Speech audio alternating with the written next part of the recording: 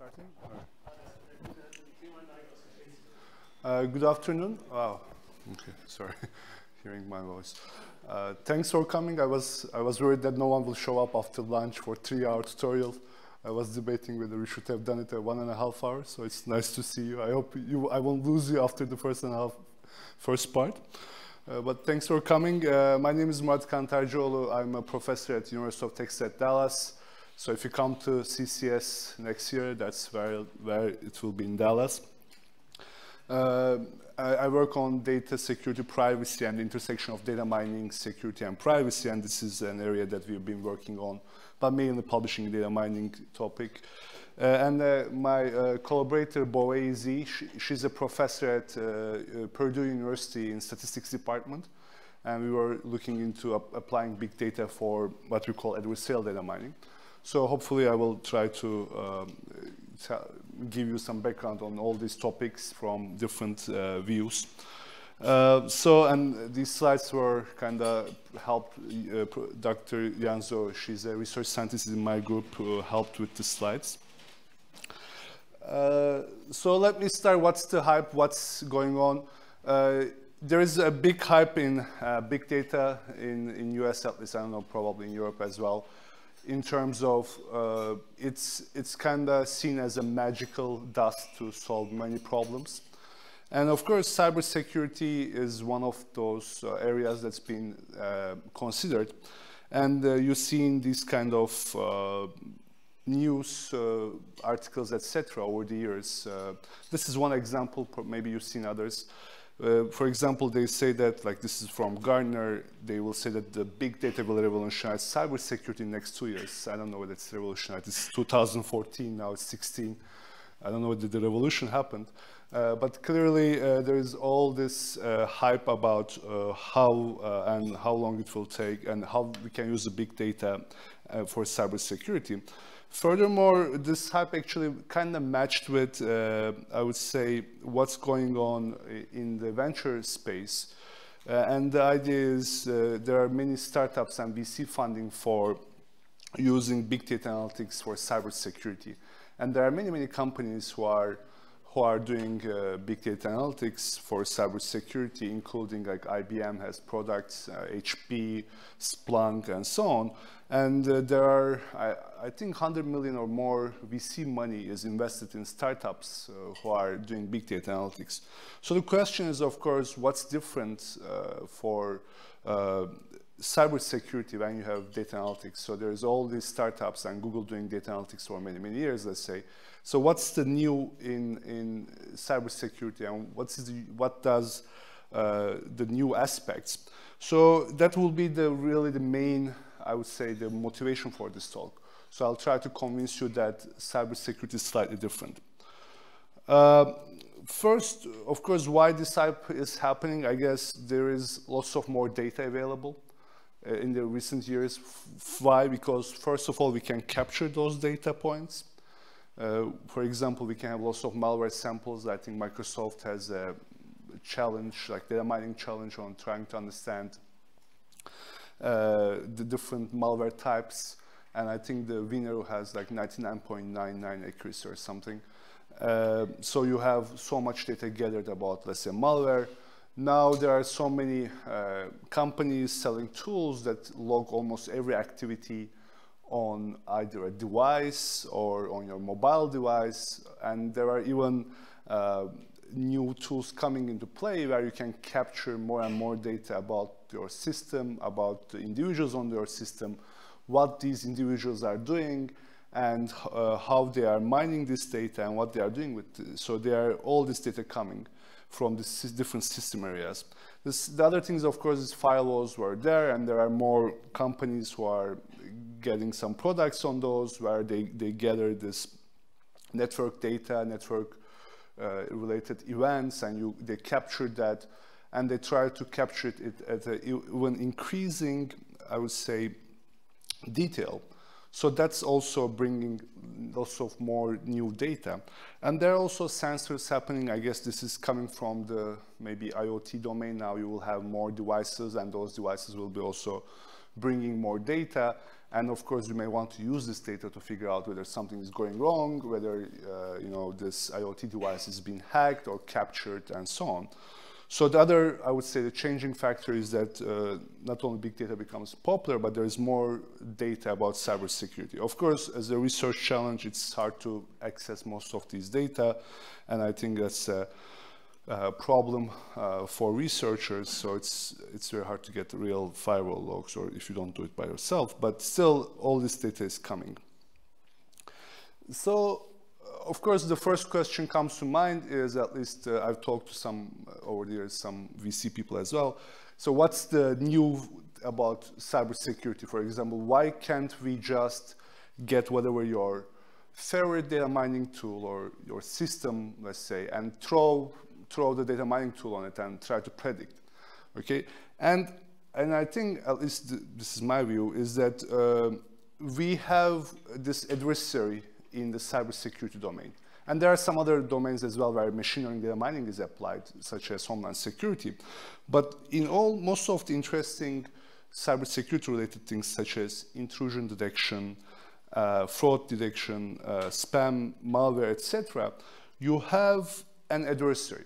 So this really, uh, from traditional data mining point of view, it's, it's uh, a big change according to me, because here you have this active adversary who tries to avoid being detected and who tries to manipulate the data mining process. So this is quite different, different than, let's say, applying data mining machine learning to detect Higgs bosons in CERN labs, because I don't think, as far as I know, I'm not a physicist, but Higgs boson tried to hide its existence, you know, from the data. But here uh, in the cybersecurity domain, that's, that's a big challenge. So this adaptive active adversary. So so basically, uh, new solutions really needed to address this problem from machine learning point of view, and people look into this actually. That's the part of the survey that I will summarize. I'm at least, uh, I would like to bring your attention of what in the machine learning data mining community has done uh, on this area, and, um, and then talk about some of how it could be maybe applied in practice later. Uh, so the, the standard deviation, as I'm mentioning, a little bit more technical, uh, is that most of the machine learning techniques have this IID, independent identical distribution assumption. So in other words, what you have seen in your test or training data, in other words, what data you collected, may look similar in the future. So it's coming from the same distribution. But of course, uh, this is just one example, uh, and we will see a few other attacks. But when you have uh, more uh, active adversaries, what you have seen may, may change down the road. So in this, in this example, uh, the adversary may have, uh, you, you may see this data set, for example, and you can build a model to classify good versus bad. Let's say the red is the uh, bad ones and the greens are the good ones. And you can build a classifier, which is uh, the line here is a simple example or, of a machine learning model that you can learn and build.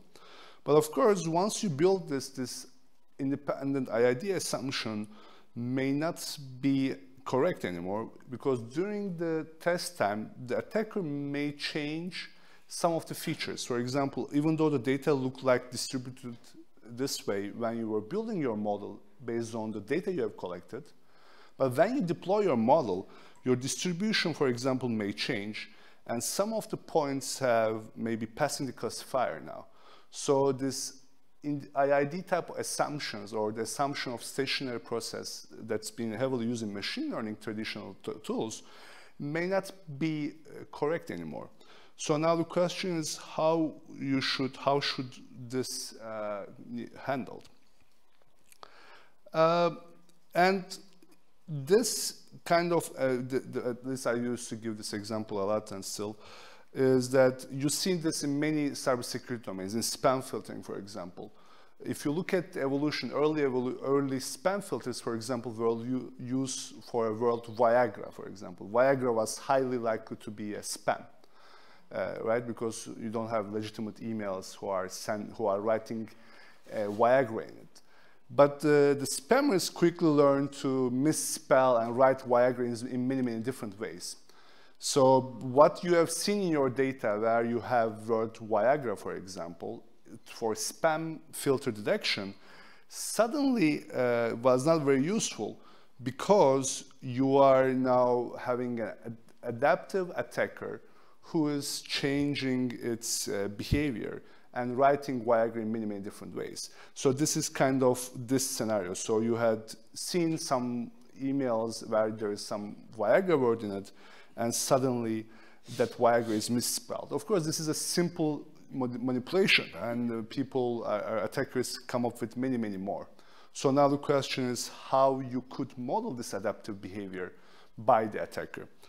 And uh, for those who know a little bit more uh, machine learning data mining, again, I'm, I'm, I'm, I'm, trying to keep the knowledge in machine learning very limited, uh, and then there are some pointers uh, at the end, uh, and I will share the slides as well so you can at those papers. But for more advanced uh, know, peop people who has more advanced background, uh, it's not uh, concept drift. Uh, there is lots of work going on in machine learning data mining to understand changing concepts. So in some domains, like in social media, etc., people's tastes evolve over time. So there is lots of work on how you could evolve your machine learning models over time as the concept is changing, like what the people's taste is changing, what they like is changing. But this is not really a concept in, the, in this scenario because the adversary on purpose is changing its behavior. and now, the, of course, there is another line of work in machine learning called online learning. And here, the idea of online learning is you want to update your model by not seeing entire data at once, but you, you keep seeing data coming. There, there are variants of it like stream mining as well. I, I just captured them on, under one umbrella called online learning is that the, uh, you try to learn by only seeing few instances and update your model as you see more and more data points. But again, the online learning kind of assumes that although there may be a concept drift in the online learning scenario as well, still it's not about adaptive behavior, adaptive uh, uh, adversary, but it's more on the, on the side of how we can build the model as we see more data in a streaming fashion.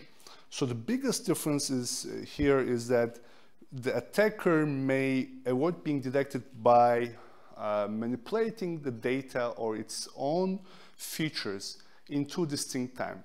So one is the training time. In other words, when the data that you, you capture to build your models uh, could, could be could be not pure data. So this is kind of like a data poisoning attack uh, type of thing. So in other words, you get some data where the attacker manipulated early on via different means, for, uh, and therefore uh, it will impact the machine learning data analytics process. So an example would be is that if a person collecting arbitrarily uh, let's say, Twitter accounts to build social media uh, related, uh, let's say, spam filtering. Some of these collected Twitter accounts by itself may be manipulated by the attacker so that the model that you learn may not be accurate. So this is the deliberate intervention during uh, training time. And the other thing is that I think more relevant is the test time. So the features uh, that you use and you think it's important may be, may be uh, modified by the attacker. So this is an attack during the test time. An example would be is, uh, you, I mean, you can, you can see this in uh, many scenarios, but uh, Viagra example was one, one where the attacker, for example, changed email content. In the, in the case of spam filtering, uh, the spammers have done lots of uh, good word attacks. In other words, add lots of words to spam emails where the, those words are not associated with spam. So the emails look uh, like a legitimate email. So these are the type of adaptation is coming. So I'm, I'm trying to convince you that this is really different because of this adversary.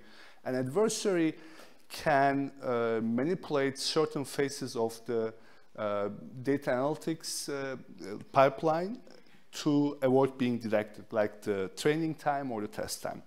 So uh, this this brings a question, and there are people try to answer this at least somewhat theoretically and also I think practically.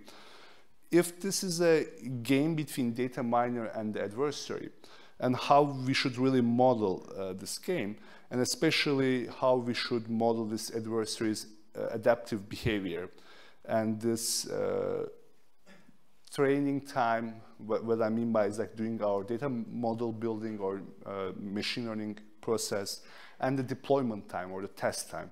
I'll use training and test to differentiate these two. Uh, so, uh, of course, one solution idea occurs is that, and this is still relevant, you can really consistently change your model. So if you come up with a new attack, new, uh, new uh, uh, adaptive behavior, maybe you, re you rebuild your data mining model.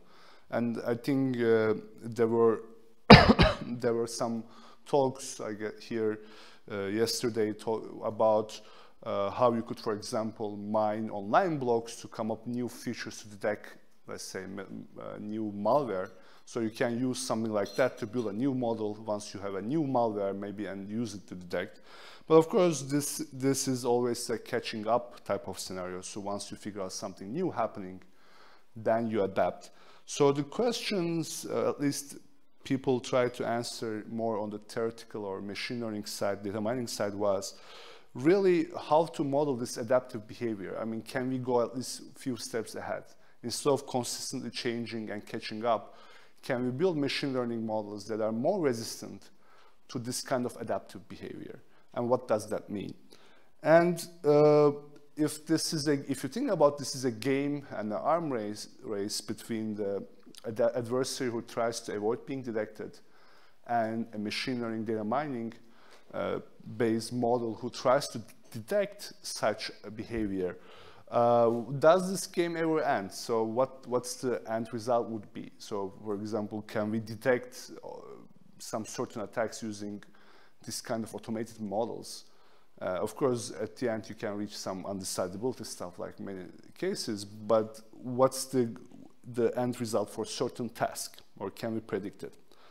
Of course, uh, for those who know game theory a little bit, when you talk about games, there is this equilibrium discussion. So what would be the equilibrium look like if there is one? And uh, where the attacker and the machine learning model reach an equilibrium. So I'm going to try to, uh, so this is the questions we try to discuss based on the existing research.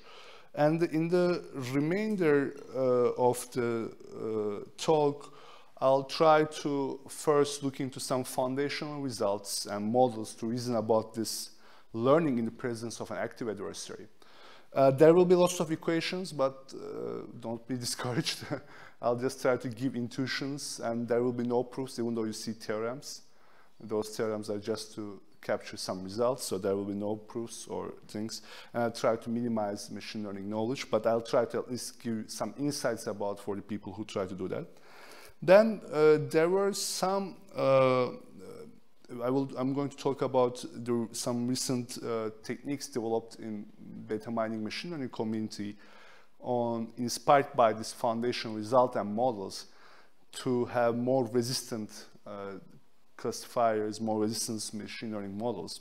So I will be talking about those. It will require a little bit knowledge of uh, SVMs. I'll try to mention it. Uh, but again, as simple as possible. And then I'm, of course, there is uh, such a rich literature of mach applying machine learning already for cybersecurity problems.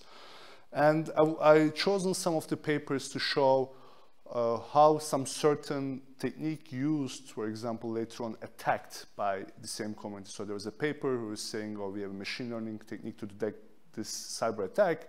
And then next year, in let's say, CCS, there's another paper attacking that attack, another paper attacking the attacking, and so on. So what does this mean from, at least uh, from the foundational models and why some of those attacks may not be surprising. So that's the, uh, the uh, latest part. And then I will try to conclude uh, by uh, some summary and suggestions, at least based on what I've seen on how to apply them more in practical sense, like machine learning. So this will be the agenda. Uh, please uh, feel free to ask uh, questions anytime if something is not clear. Uh, I hope it won't be too boring, so if it's a little bit more interactive, I guess it will be more uh, fun. So that's the, that's the goal. Um, so let's, let's start with some foundational results.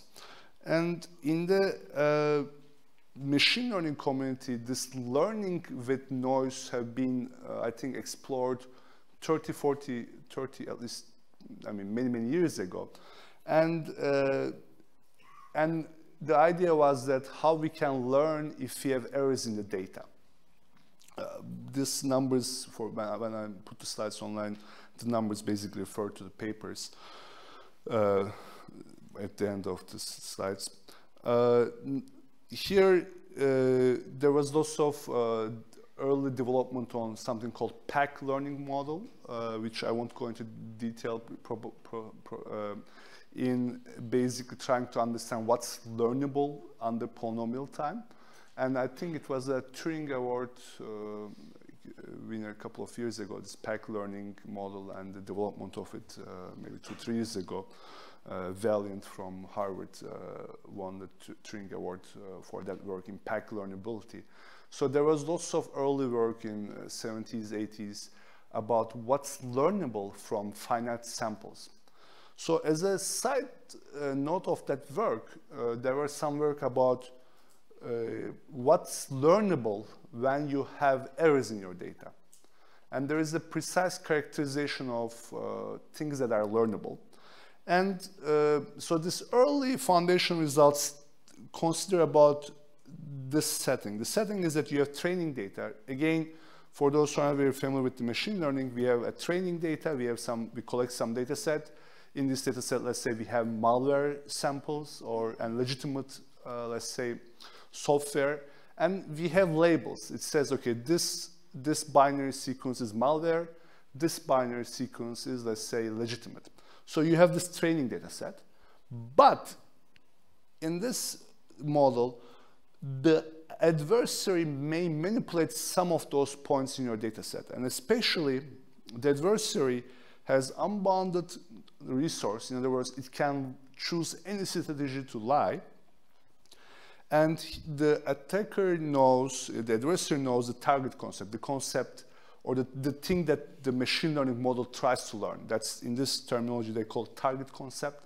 So this, the concept here is that what's the relationship between the data and the class value. Class value here, again, let's say malware or not so uh, legitimate software. And then, uh, and it knows everything basically in, in the thing but we limit the adversary. In other words, adversary can generate uh, with probability uh, some parameter beta that it can generate malicious er errors. So here that the attacker or adversary can look at the training data, knows everything about what you try to learn, and try to come up with the worst possible noise or worst possible modifications to the data so that it will get uh, the best uh, or the, uh, it will make the data mining model as, I mean, least effective as possible. So, in other words, its goal is to foil the learning algorithm. And now the question uh, these, this uh, paper long time looked into was, what can you learn under this, this setting?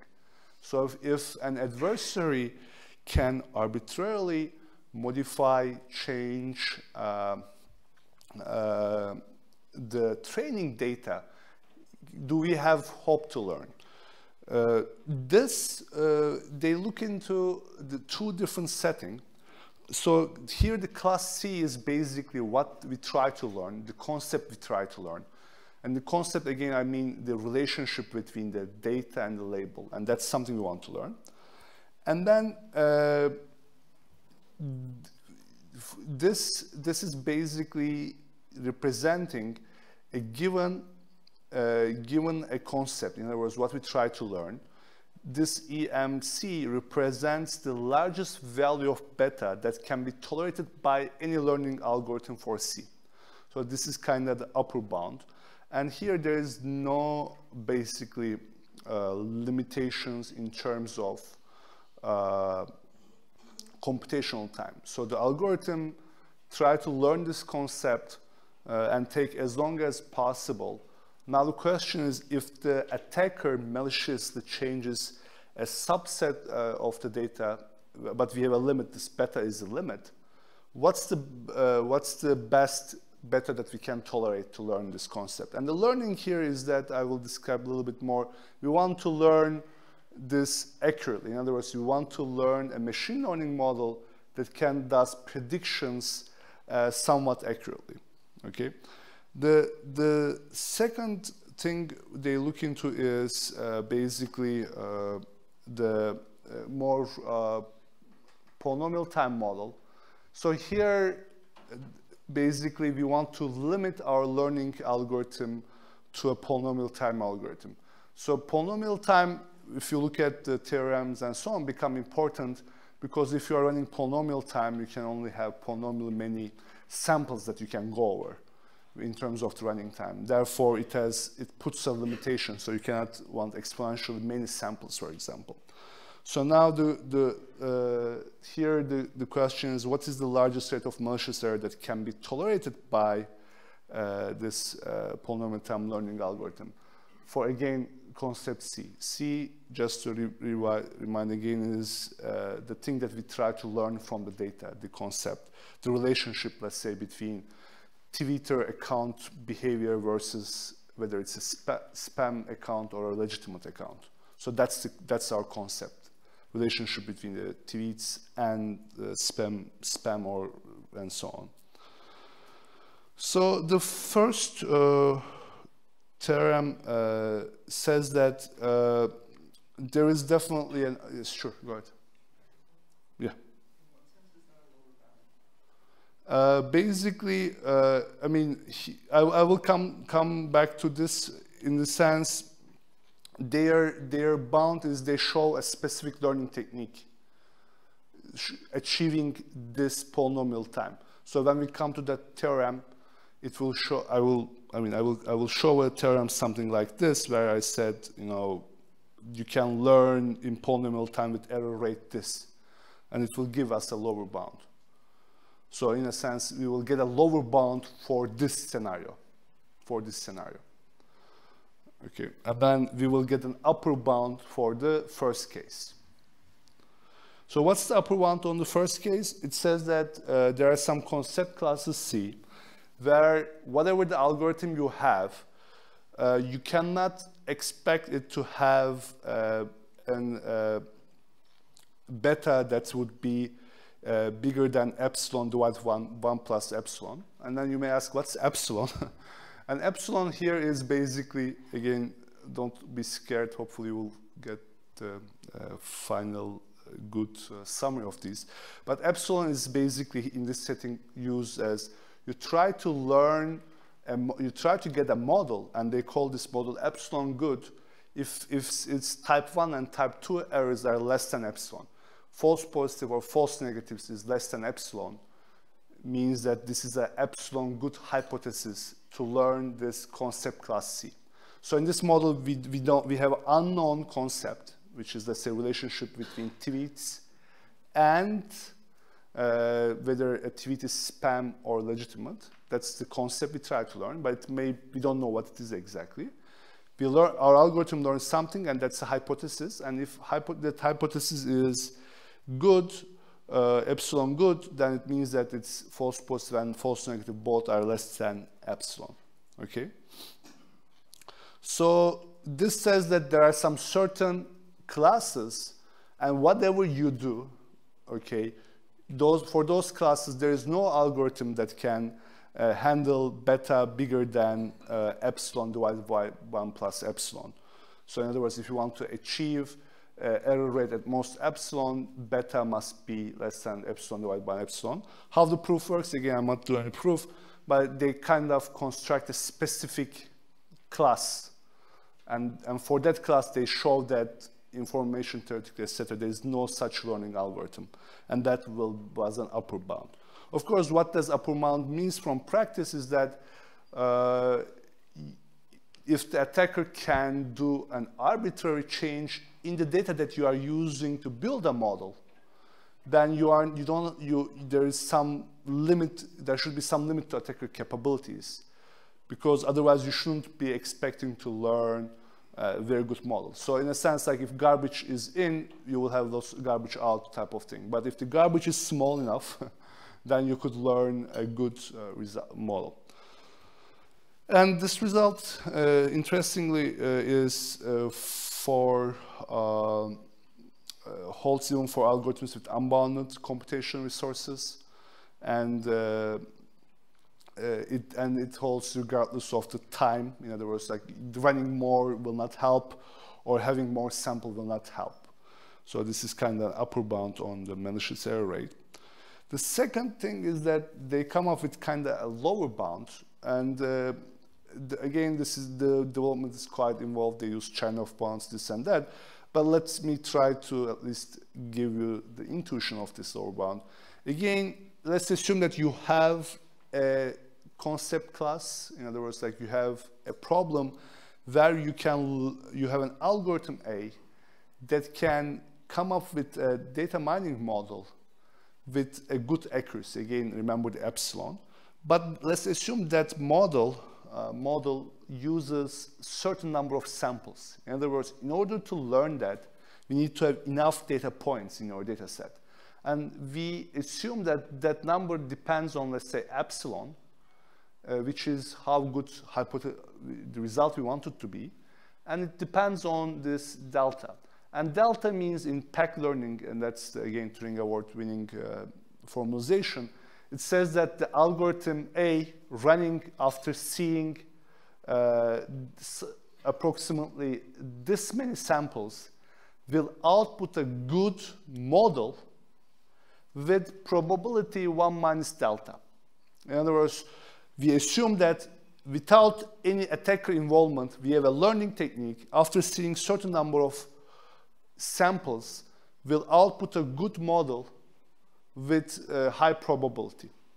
If you have such an learning algorithm, what this result showed that, then assume, let's look at how many samples this algorithm needed for much less error, okay?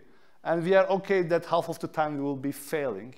So our algorithm can run, but half of the time it may fail.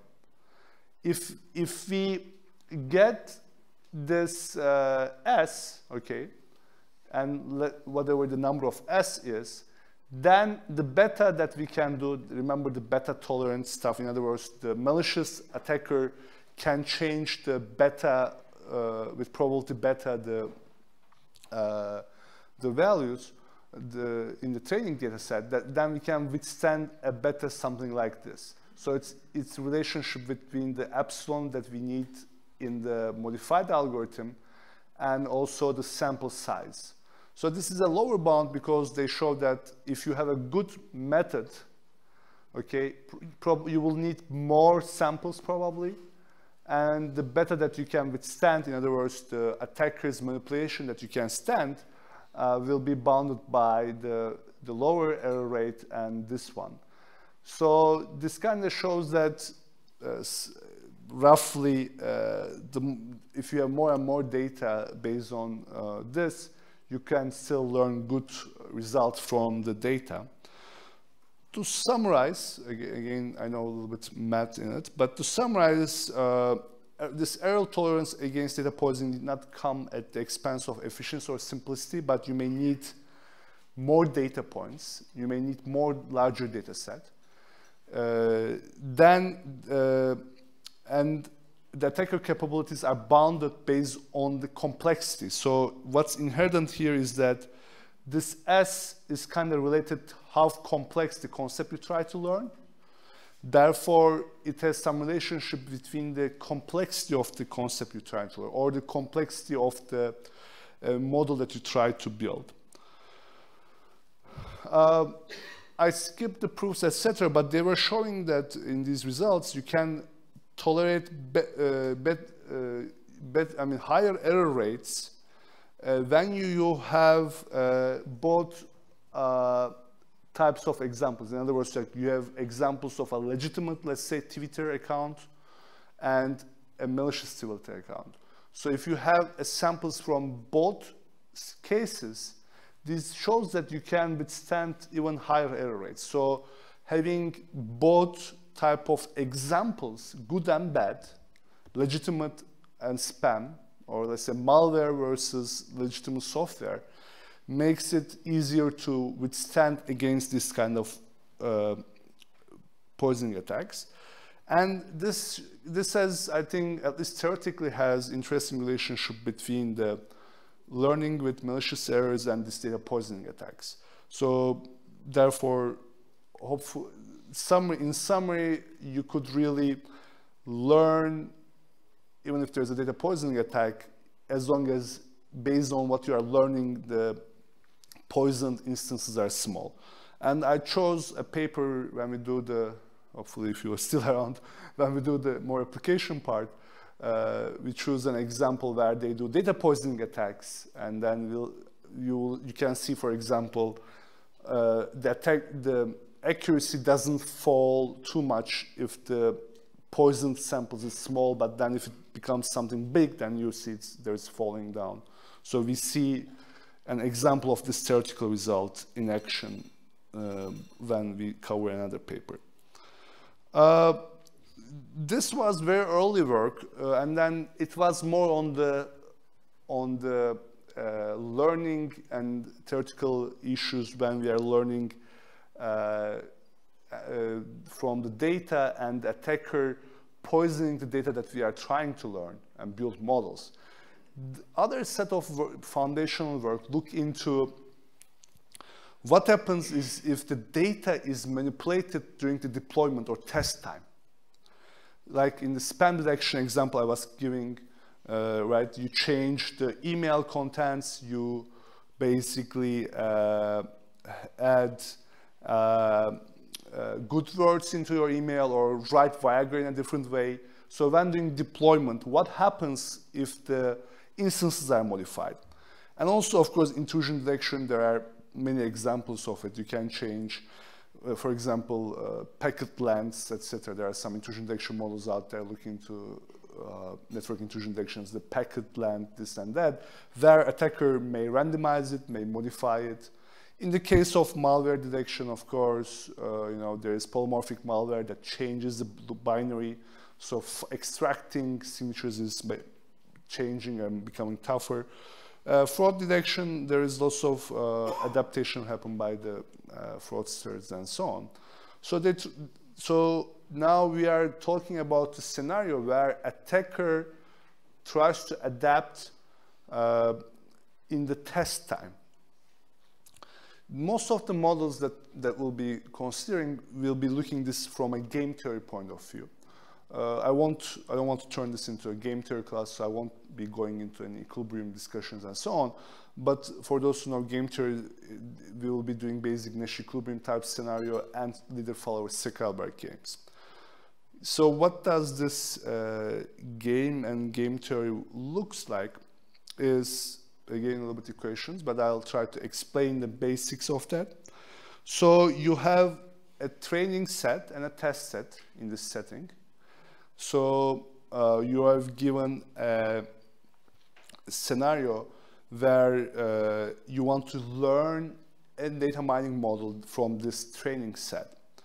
Okay, and here uh, you try to have this classifier C, and given X, it will try to predict the class value. So for example, this classifier could be like, S could be the set of spam legitimate emails, and we have some certain email set we want to test our models on.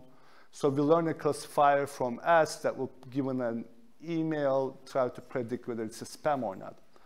So now here we are now bringing utility and uh, adaptation of the uh, attacker into the play. In other words, uh, how you could, how the attacker uh, or the defender can measure the different features. So here we are assuming that uh, this each instance is a set of features. Uh, for example, whether a certain word is exists or whether the email is coming from a certain server, for example. These are all could be features. And you, you assume some kind of cost.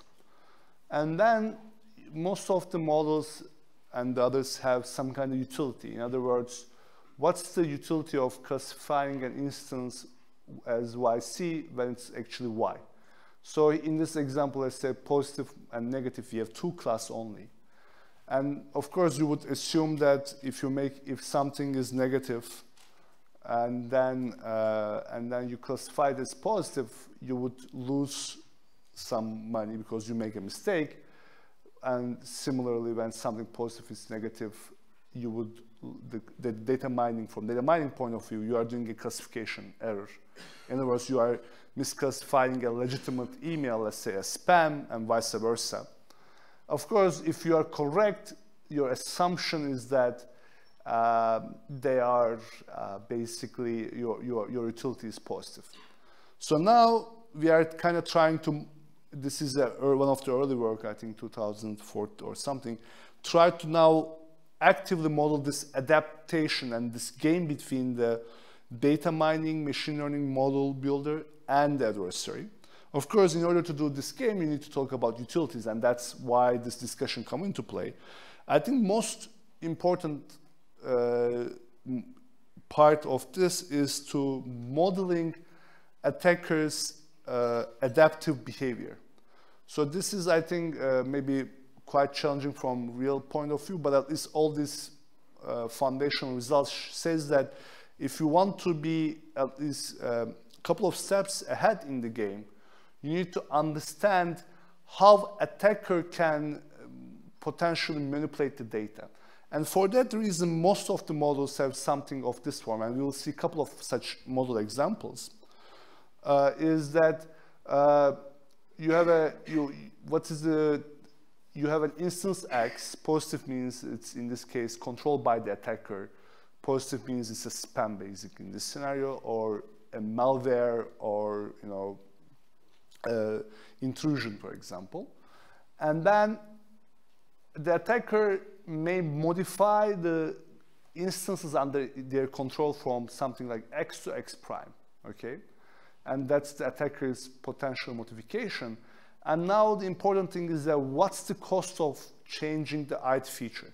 For example, uh, we will see some examples later on, your model could be uh, classifying uh, network packets as intrusions or not.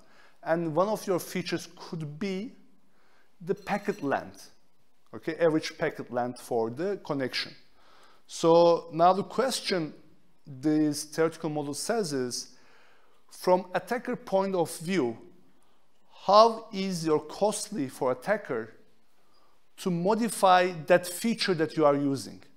So that's the crucial, crucial uh, thing used in this stuff. So this kind of captures this, uh, this uh, change by the attacker.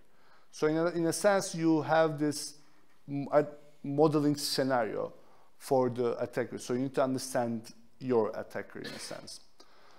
Of course, uh, the attacker will win if, let's say, spam emails are classified as legitimate emails. So the attacker will uh, get utility when the classifier classifies something wrong, let's say. Therefore, attacker wants it to be classified wrong if it's positive and it's classified as negative. So in other words, if it's spam and if it's classified as uh, legitimate, then the attacker will win. But if it's spam and the classifier gets it, attacker doesn't get money. Uh, here, attacker doesn't care about the other scenarios. So attacker is worried about the fact that it's the things under its control is passing this data mining model and it's classified as legitimate, etc. And that's what uh, this part tries to capture. Um, this early work uh, by, uh, I forget the names, uh, from University of Washington uh, long, uh, many, many years ago, tried to model this as a one move by each player, okay? So you start with a data mining model, attacker learns it and so on, and they try to understand how this evolving happened. The big assumption in almost all of these foundational results is that uh, you, you, both sides know everything. So from a game theoretic point of view, for those who know game theory, this is like a complete information game in a sense. Each side knows what, whatever happens. And the uh, early work looking to this very simple classifier called naive Bayes models. So here uh, you, you estimate the probability distribution using this naive approximation and you classify something as positive if the probability that uh, given x, the probability that it's positive divided by given x probability that it's negative is bigger than this threshold based on the utility. And these probabilities are learned using basic naive, uh, naive Bayes assumption. That's for those who have taken any machine learning classes, like the first thing I guess everybody's teaching. Uh, but from our point of view, it's not as important. But basically, we have from data, we learn some model that gives given x the probability that it's positive or not. And that's using many different models. So uh, adversaries so the, in, in this scenario, like the question becomes, what's the adversary's optimal strategy? Uh, again, as I, I, want to emphasize that it has complete information. And uh, while devol developing adversary's optimal strategy, they assume that classifier is unaware of its presence. And the adversary tried to modify features such that, and that's the important part, the transformation cost is less than the expected utility. In other words, attacker can arbitrarily change what what's uh, the data we observed as long as it's profitable for the attacker. So in other words, we don't, what we have seen in the past will not be really has any relationship to the future uh, because attacker can modify it arbitrarily, but there is a limit. The limit is that attacker is rational and it will modify these instances based on this uh, if you recall, we assume that there is a kind of uh, weight there. This becomes uh, solving an integer linear program, which is quite tough, tough to do it for finding optimal solution. And uh, in other words, like given a classifier, what's the optimal modification? You need to solve a very complex optimization. And similarly, uh, if you look at the classifier, uh, you need to come up with an adversarial uh, scenario. Uh, here, the assumption is that uh, adversary uses an optimal strategy for a given classifier, and therefore the initial training data is actually not tempered in this scenario, and this transformation cost uh, is a semi-metric. Now, what the adversary, what the classifier is doing is, is, is this. Uh, basically, it, given x, it predicts as yc, but the important thing is that uh, here, uh, you, instead of using traditional probability, it uses a different probability distribution. And this probability distribution becomes something like uh, this, given something, assume that something is uh, spam, let's say, what is the probability that I see, I, I see a x prime? And this will depend on what was the probability that I would see x, x, some certain x against the domain, and that x is converted to x prime. So in other words, when I'm trying, when you try to measure uh, the probability of something, you need to figure out the fact that this may not be really x prime. It may be x originally, but it may be turned to x prime. So that's this uh, probability happening. And this involves, again, solving some uh, linear pro integer linear programming uh, things combined with uh, some other linear program stuff. I think uh, if you combine optimally, it will become NP-hard somewhere. So it's quite complex, but I think the, from more practical point of view, what this foundation says that you should start, in order to be one step ahead, you should start modeling the attacker capabilities. Um, after that work, there were uh, different type of game theoretical models applied to this scenario. Uh, this is uh, one model. Uh, here it is slightly different in the, in the setting. Uh, here, uh, you have an adversary and the adversary chooses an action, let's say whatever that action is, modifying the data. And the data miner observes this action and chooses another uh, classifier based on it. And the game ends with this. So this is a very basic model, but this model, so it's not very realistic maybe, but it has interesting implications for choosing features for data mining and which uh, in adversarial data mining. So it looks uh, a little bit unrealistic, but it, bear with me, it will have some, uh, it would have some kind of uh, real, real impact results, at least intuitions after all this math. Uh, here, uh, it's assumed that this is, a, this is called uh, standard mixture models. So you have good class, bad class. Again, most of this foundation work assume you have two things like legitimate mails, spam, malware versus regular software, intrusion, non-intrusion. So it's usually have two classes. So this is a, a, basically a mixture model. In other words, you assume that data that you are seeing is a vector. Again, these are features that you are using in your model. It could be, uh, again, like the packet length, you know, uh, for example, uh, or pack some packet frequencies. Let's say you do n-gram models. Or it could be in malware, like the function calls uh, and you know uh, certain API calls and then you can use the API calls as features, etc. So these are arbitrary features. Now, here, the assumption is again, the attacker can modify the bad class. So this is, these are basically probability uh, density functions, and the attacker can arbitrarily change the distributions. Uh, once you write this, uh, you can start writing optimal solutions to this.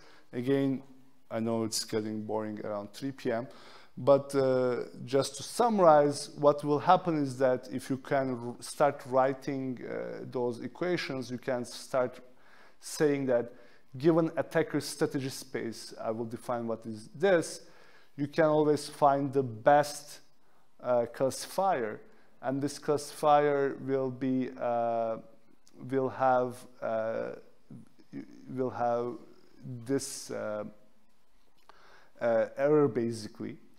Uh, okay, so the classifier will be defined given the attacker's options and dis distributions, and then you can define the utility. Here, this utility involves, again, cost of classifying uh, some instance, uh, let's say legitimate as illegitimate or uh, spam as legitimate and so on. Okay, and the data miner, of course, given the attacker's thing, tries to minimize the uh, minimize its cost. Uh, now, the big assumptions again here in this model is uh, changing a feature or mod modeling instance has a cost to adversary. This is again very crucial things in all these uh, adversarial data mining models is that there must be a cost to adversary in adaptive behavior. If there's no cost, these theoretical models show that attacker can always defeat any machine learning technique. And if there is no cost, basically, uh, to change the instances, it can always find a legitimate class and copy it.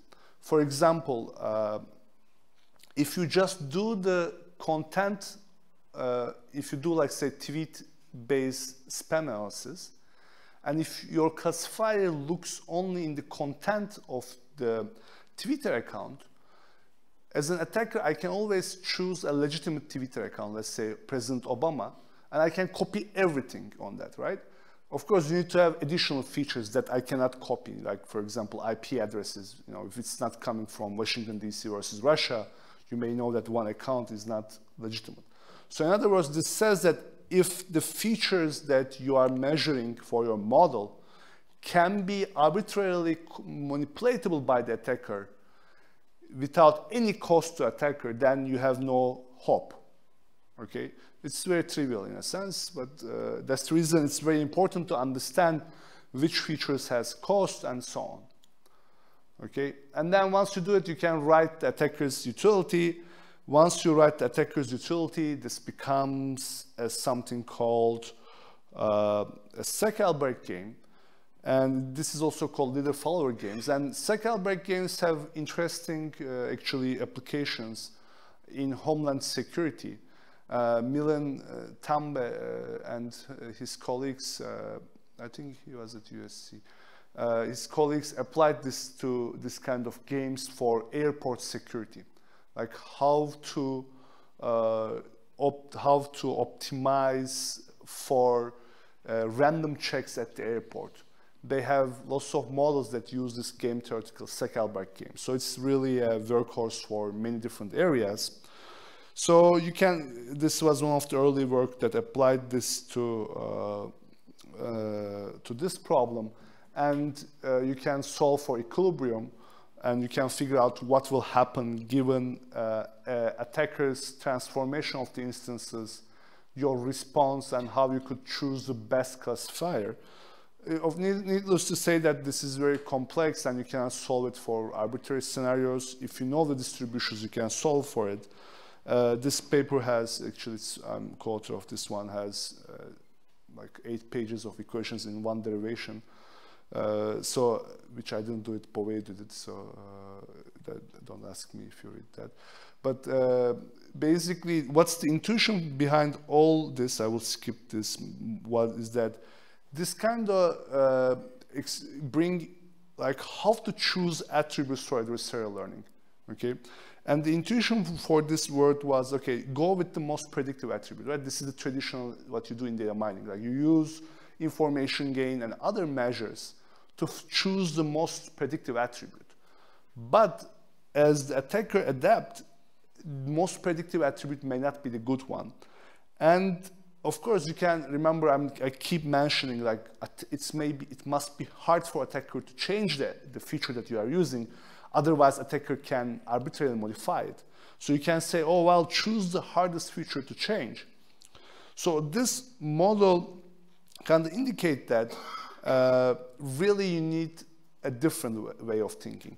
And here, I'll just give a very basic example of what this all this theory tried to imply was assume you have three features or attributes called, let's call them x1, x2, x3, and you want to choose one feature for building a model. This means that this feature distributes like normal with mean one and uh, standard deviation one, and the, for uh, good class, and bad class it has mean four and uh, uh variance one so this means 1, 1, and 3.5. Uh, for those who can imagine distributions, this, if you look at this feature, these two classes, good and bad, are most separate because their means are different, okay? So, you, so by looking at which feature is very predictive without any adversarial thinking, okay, this would be the best feature because this is the best separating these two classes, good and bad, okay? If you look at from attacker point of view, what is the hardest to modify? What is the hardest to change? And, uh, you know, uh, basically uh, to, to uh, change by the attacker you would see that the first one is more, uh, first one is better because it has higher penalty for attacker.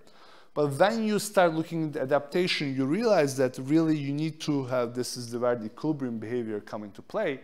This has the lowest error actually. So you, you have this, the second feature is not as predictive as the third one, or it's not as hard for attacker to change like the first one, but it's a, really a good combination of both.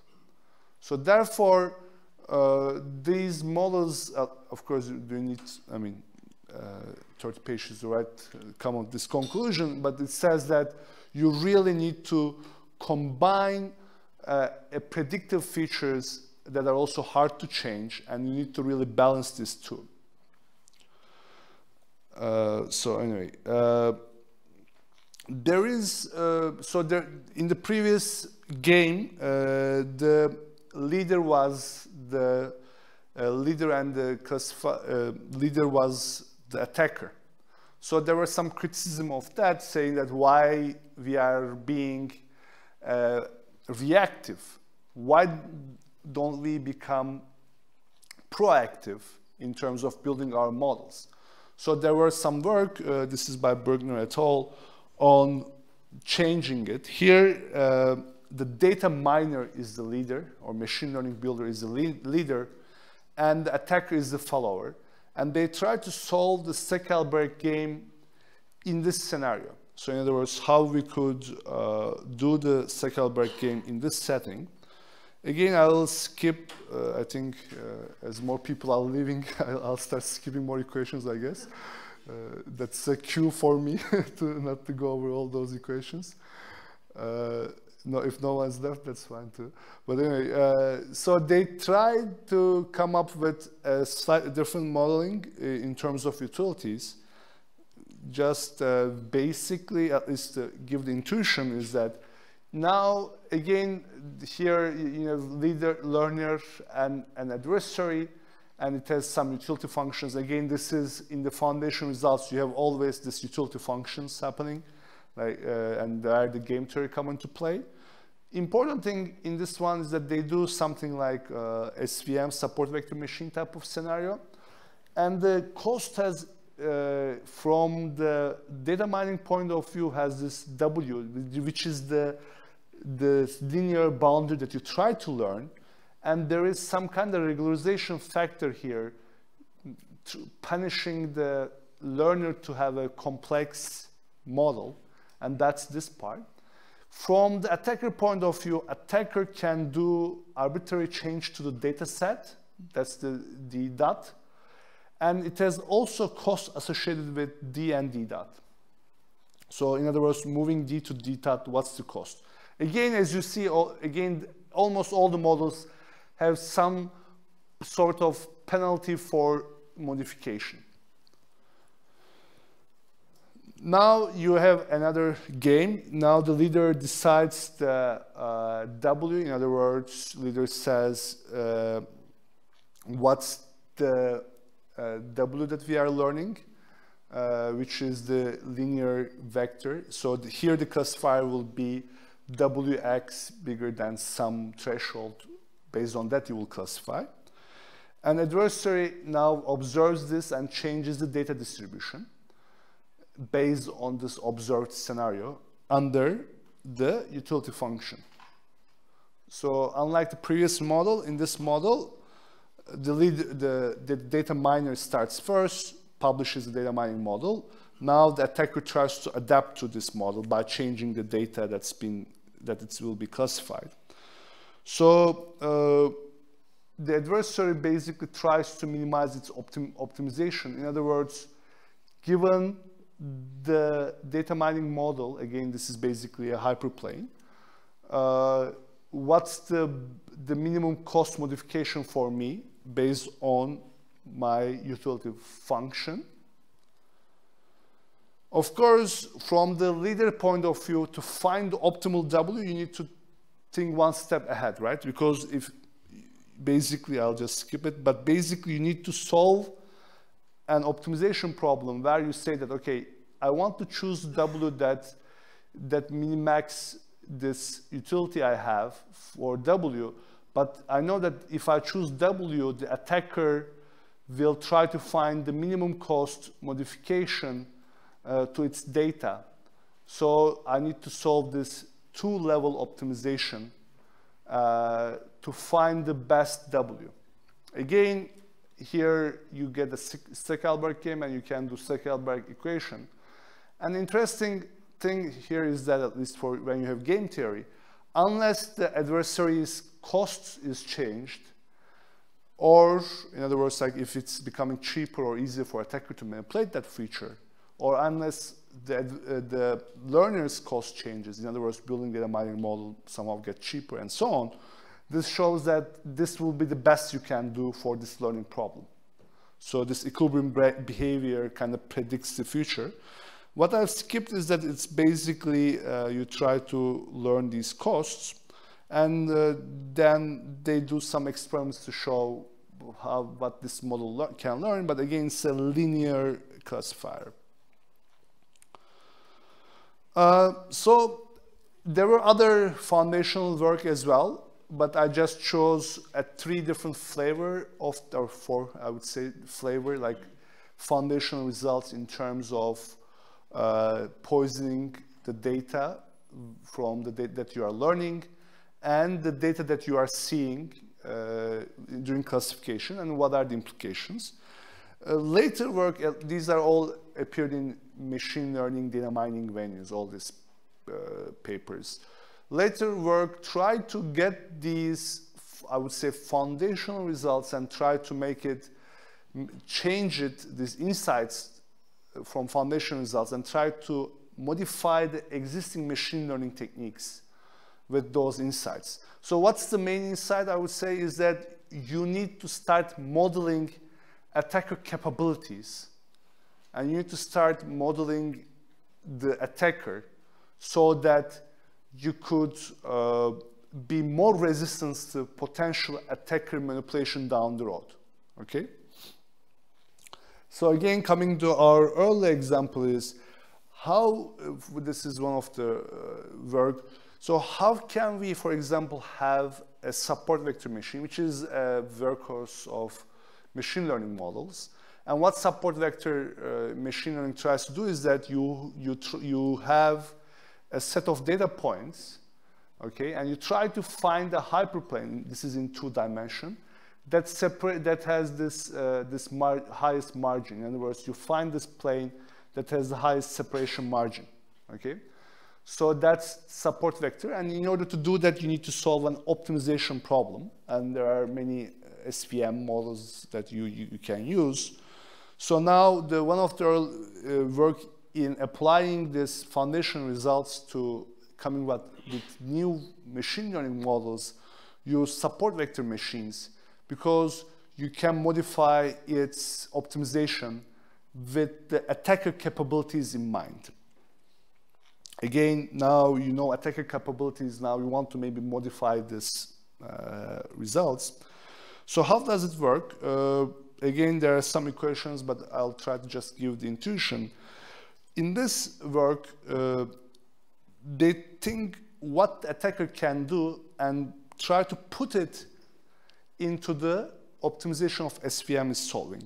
So there are two types of attacks that attacker may be doing uh, for the test time. One is assuming that the attacker can change the features delta delta J based on some parameters. Here, this small cf and the capital CF determines how much an attacker can modify any given feature. Again, you start seeing that in the data mining model, you try to model attacker capabilities. In the other, they call it targeted attack. Actually, we call it targeted. I, I was a co-author of this one. Uh, targeted attack, where you know a good sample. In other words, you have a target, let's say, tweet account, and you try to get closer to it, but you have some limitations, you know, how much you can change your instance to get closer to your target. And that's, again, some uh, math things there, not so important. So what you do is that once you have uh, this kind of adversarial modeling, you modify a traditional, uh, let's say, SVM. Traditional SVM part will be usually composed of something like this part is different though, but this this is the, where the traditional SVM will, will, will happen. So I mean, forget about all starting from here, this part, assume it's not there. This would be the traditional SVM traditional support vector machine. What the traditional support machine, so basically I'm saying, I don't know it's clear, I should have put it there maybe. Forget the bottom part here and just focus on the top part. That's the traditional SVM is trying to solve. Yeah, go ahead. Yeah, so I have a question. Sure. It's like uh, most of these results are focusing on misclassifying the malicious data as benign. Yeah.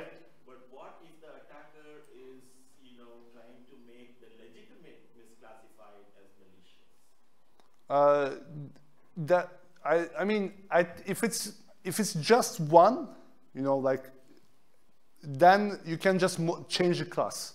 It doesn't change. But if it's both at the same time, I don't think most things model that, but it can be modified to model, I think. So I, in some cases, it will be a trivial extension. But in some models, I don't think it will be trivial because it's quite complex to solve the equations. So usually that the, the assumption is that you have malicious, uh, you know, like you want to make your spam email to be classified as mail.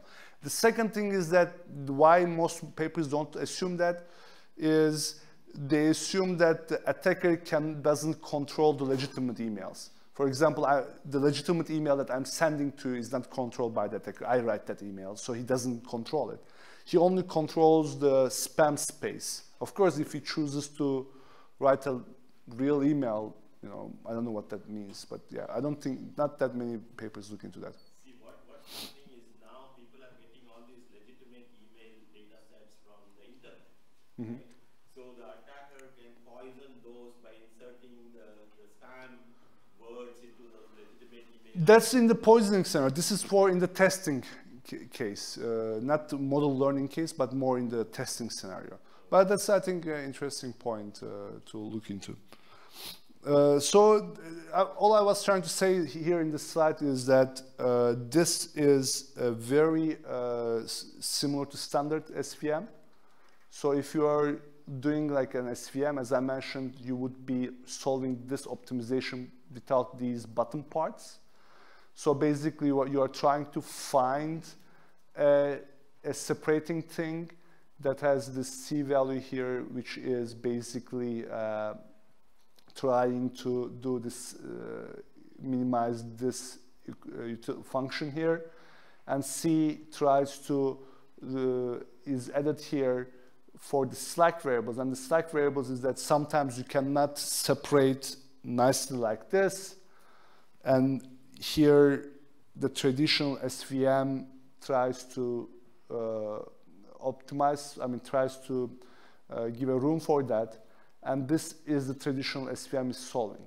Now, once you have this attacker things, in other words, once you know that attacker can modify the features that you've seen in the data during test time, you add, you add more constraints here, automatically uh, modeling the attacker's behavior, okay?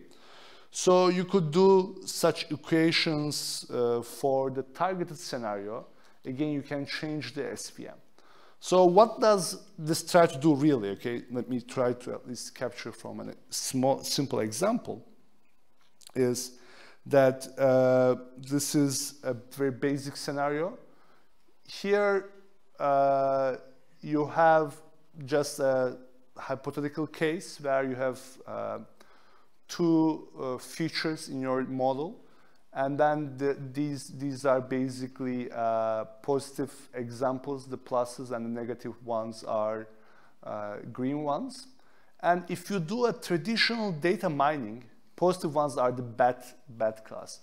The traditional SVM will choose this as the boundary, okay? Because it separates these two classes, okay?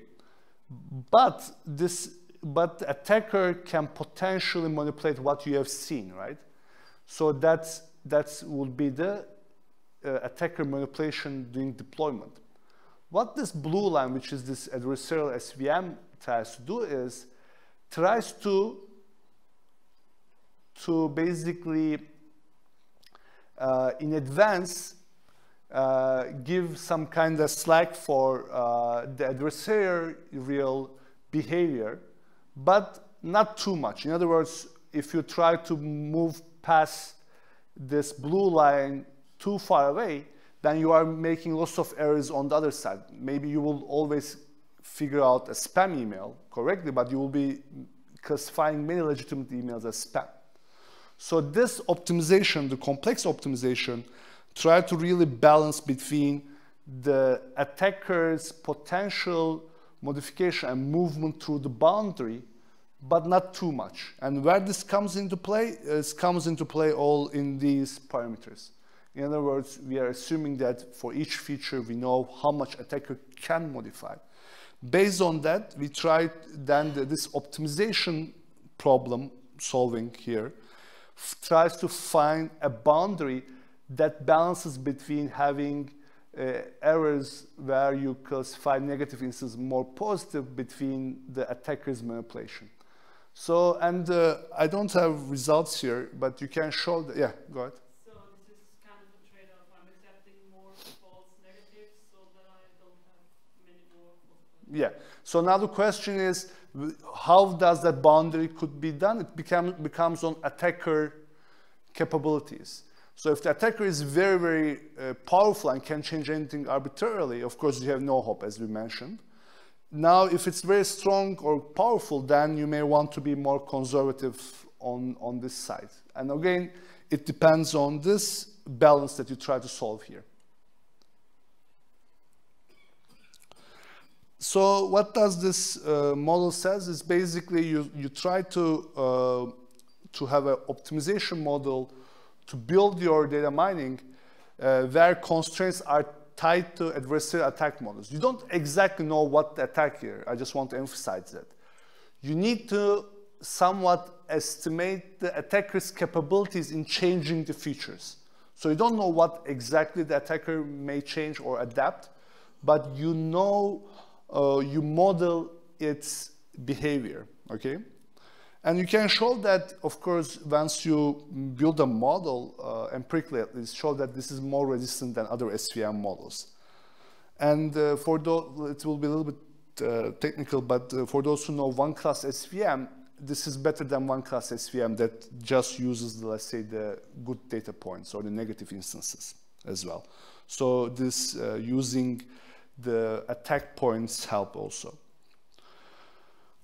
Uh, so this was here uh, in this scenario we were we assumed that attack we have we always observe the features uh, but the attacker can always can uh, basically uh, manipulate those features. So in this SVM model uh, the attacker was manipulating features by adding this delta J, delta ij it could be positive negative but it was manipulating the features. Now uh, there were other work that look into what happens uh, if there is a missing or corrupted feature. So in other words, attacker, because of attacker manipulation, not all the features are available uh, at test time to differentiate good versus bad.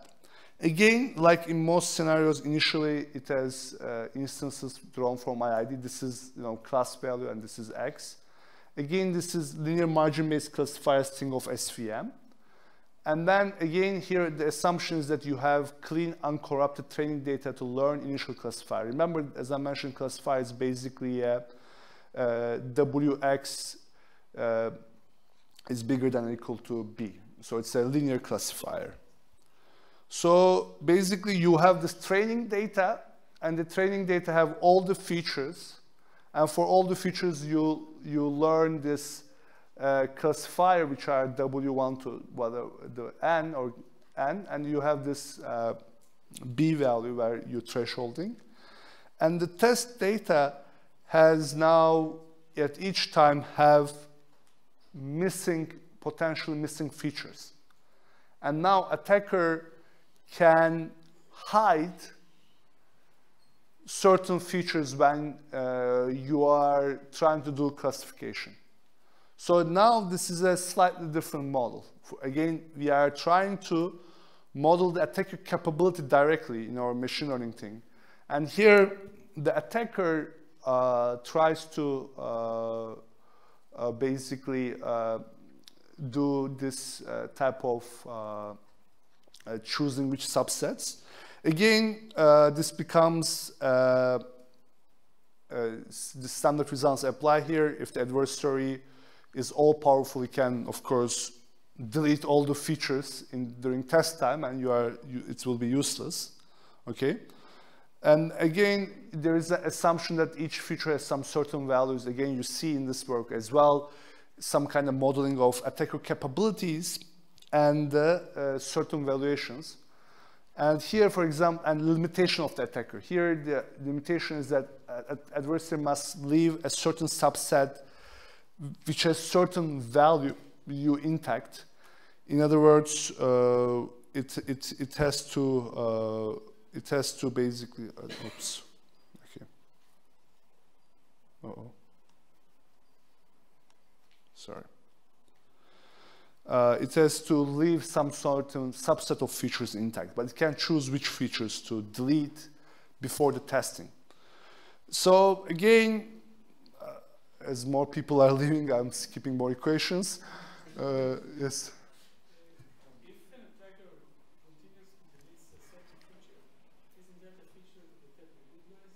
I'm sorry, isn't that feature?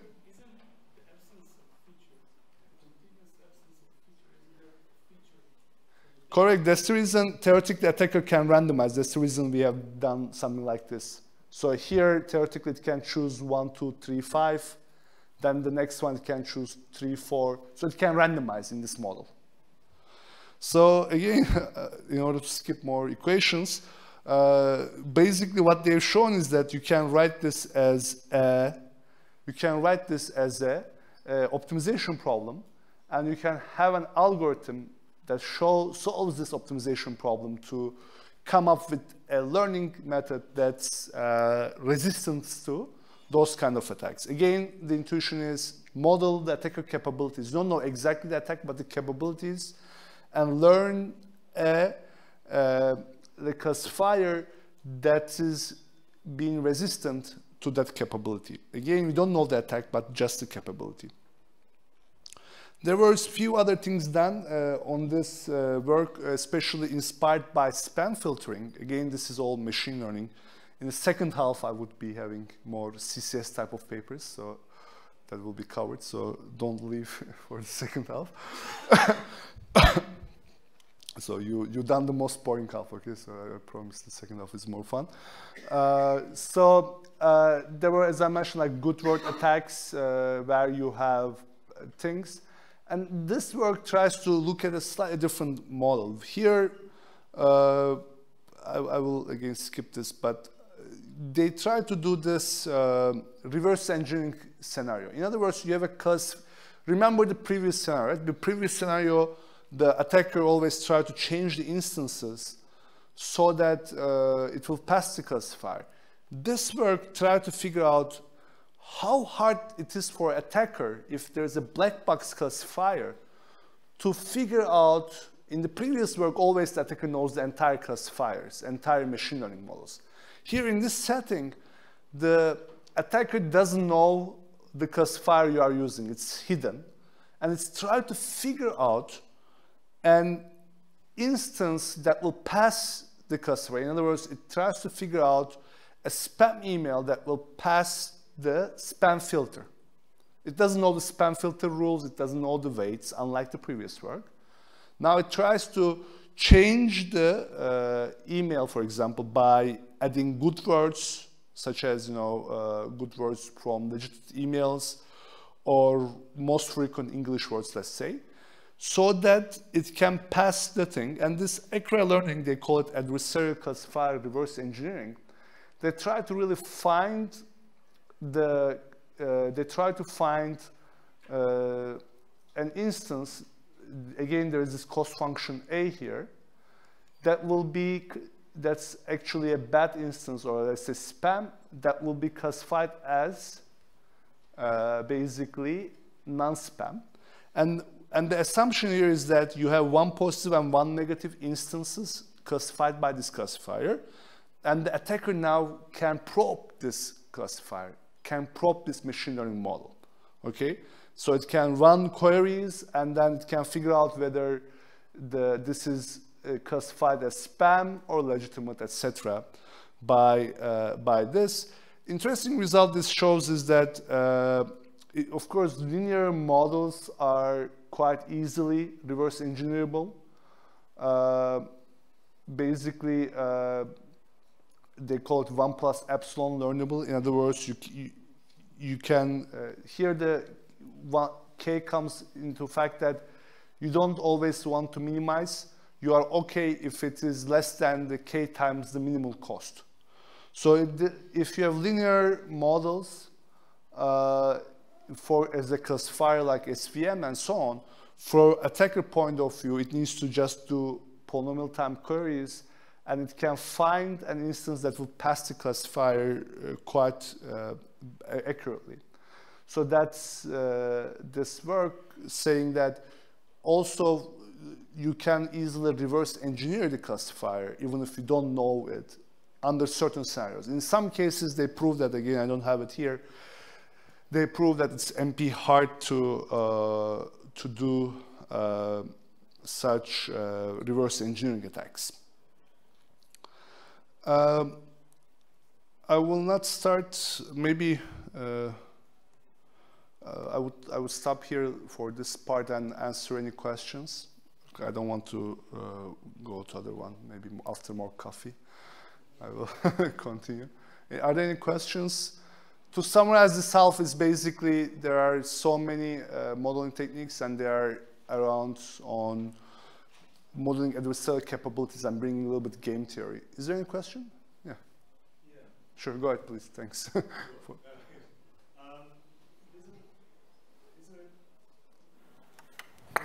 you say about making it more hard for attacks to have more features. So if you have a limited amount of features, the cost of changing uh, one of those features could be hard. Of, that's, so the, I think the question is that, so why don't we add more and more features yeah. so it will be harder for attackers to adapt. Yeah. The, the issue comes is that if you have, they, they call it curse of dimensionality uh, in machine learning literature. So if you have a higher dimensional feature space, then learning requires more and more samples.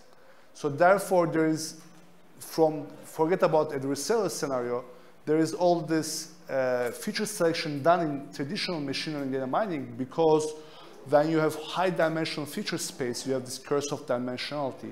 Therefore, you try to reduce dimensions. So in many machine learning, take, start, take, uh, first thing you do is to do like some kind of feature selection, then dimension reduction so that you cannot have arbitrarily many dimensions. Does it answer your question? solutions, yeah, approaches to uh, uh, the curse of dimensionality. Doesn't, can't you use those approaches to attack the problem of um, um, adversarial limit? Um, uh, maybe, I don't think there is, i am not aware of any work that tries to combine dimension reduction, uh, curse of dimensional type of things with adversarial learning. I'm not aware of that. Yeah, please. I think there was a question ahead of me before I came up to the mic. You had your hand up. Okay. So I'm, I'm working somewhat in this space for my dissertation, and one of the things I'm surprised I didn't hear you talk about was the scarcity problem when it comes to attacks, which is something that we've struggled greatly with. The idea that ultimately your, your, the feature set you're exploring to try to do prediction of attacks is going to be very, very, very imbalanced. So when we've tried to apply this to some real problems, that's one of the biggest issues we've run into. So could you, you talk about that? that? Uh, so that problem, I, I, think you're referring to class imbalance problem? Yes. That problem itself uh, has been uh, addressed in other machine learning domains. That's the reason I try to focus on what's new in the adversarial setting. In other words, the problem that you have few samples in one class happens, for example, in HIV prediction as well. So you have many, many more people who are um, non-HIV versus HIV in your data set. Yes. And there's lots of research done, like I you can give an entire tutorial on how to deal with class imbalance problem. So there, of course, this area is rich. I, I mean, even three hour is too short, I guess, but luckily it's three hour, okay, don't be afraid. Uh, that, I mean, I, I, didn't choose that area, but that's, okay. that's been an issue irrespective of adversarial setting. It's like a problem in other domains in machine learning as well. Sure, we can talk about it more often. Yeah, sure, of course, I would love to. Any other question before we go to break? Okay. Yeah, go. Yeah, I will make everything available uh, online after today. I, yeah. And with the citations are there at least, we, we sampled 15 papers or so. Thanks. Uh, hopefully you'll come back after break. I will be here at least.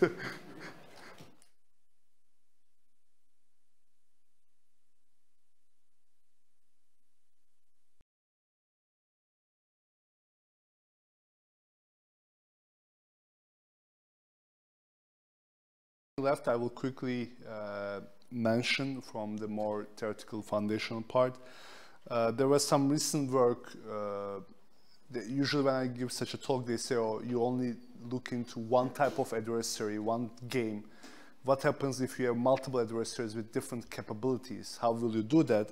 So there was some uh, recent work in the data mining community, actually this is our work, uh, to look into multiple type of adversaries uh, I'll skip that to focus on the more applied part, but uh, there are some game theoretical learning frameworks where you assume the leader, the data mining model, needs to deal with uh, different type of adversaries, which I couldn't do.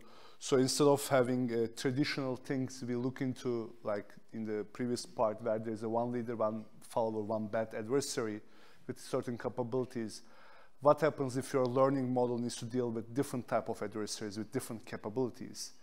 So there were some work, including ours, on uh, trying to do this. Uh, and it involves uh, building models for different type of adversaries and then combine them with some kind of mixed strategy method. Again, since I promised no more equations and theoretical part, I skip that, but there is some work into understanding multiple type of adversaries as well. Uh, so finally, the application part. Uh, I chose, I mean, there are many papers to try to apply machine learning, data mining for cybersecurity intrusion detection problems.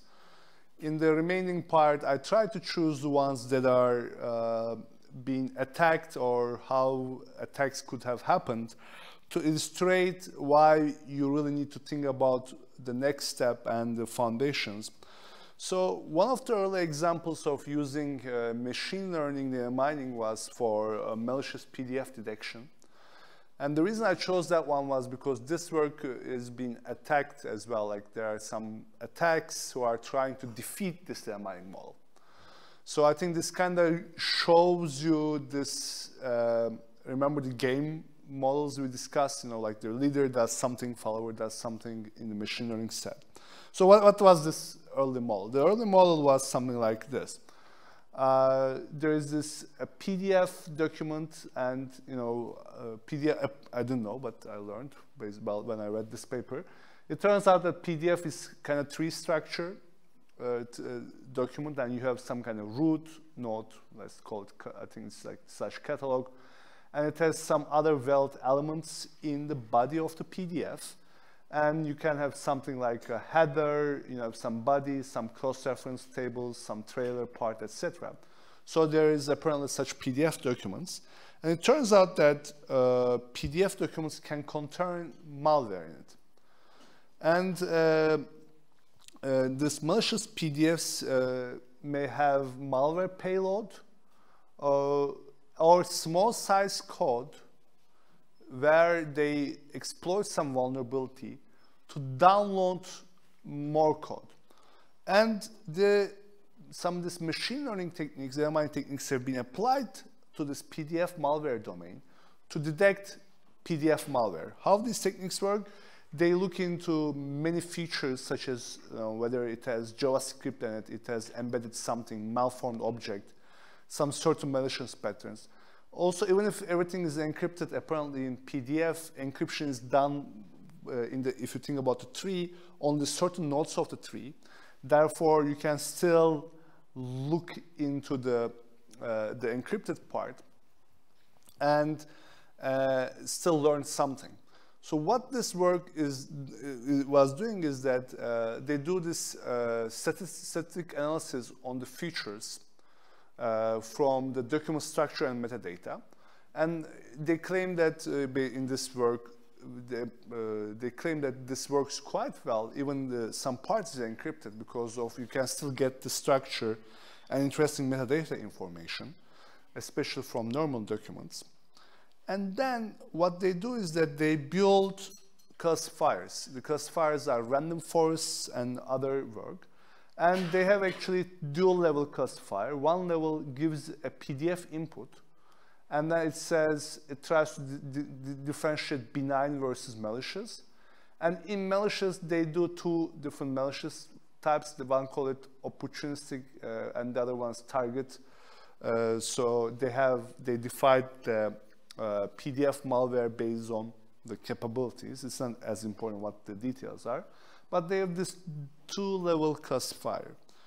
And when they look at this uh, classifier, they throw in uh, basic uh, techniques uh, such as uh, naive Bayes model I mentioned, the support vector machines you saw it, at least uh, even the optimization in the last part.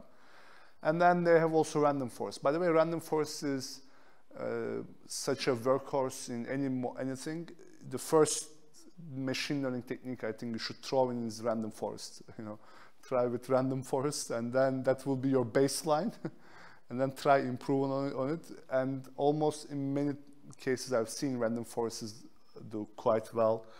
Of course, deep learning, etc., beats it uh, in other settings, but you know, it's a good initial baseline you everybody throws in. And here, actually, it turns out to be the best model. It has very little error. And they can train this malware detection software in like 92 seconds, you know, and classification is less than a second, basically. And then uh, this is their classifying target. Remember, uh, some people were asking about, uh, you know, class imbalance. I don't know where, where is he? Maybe he left. Oh, you're here still.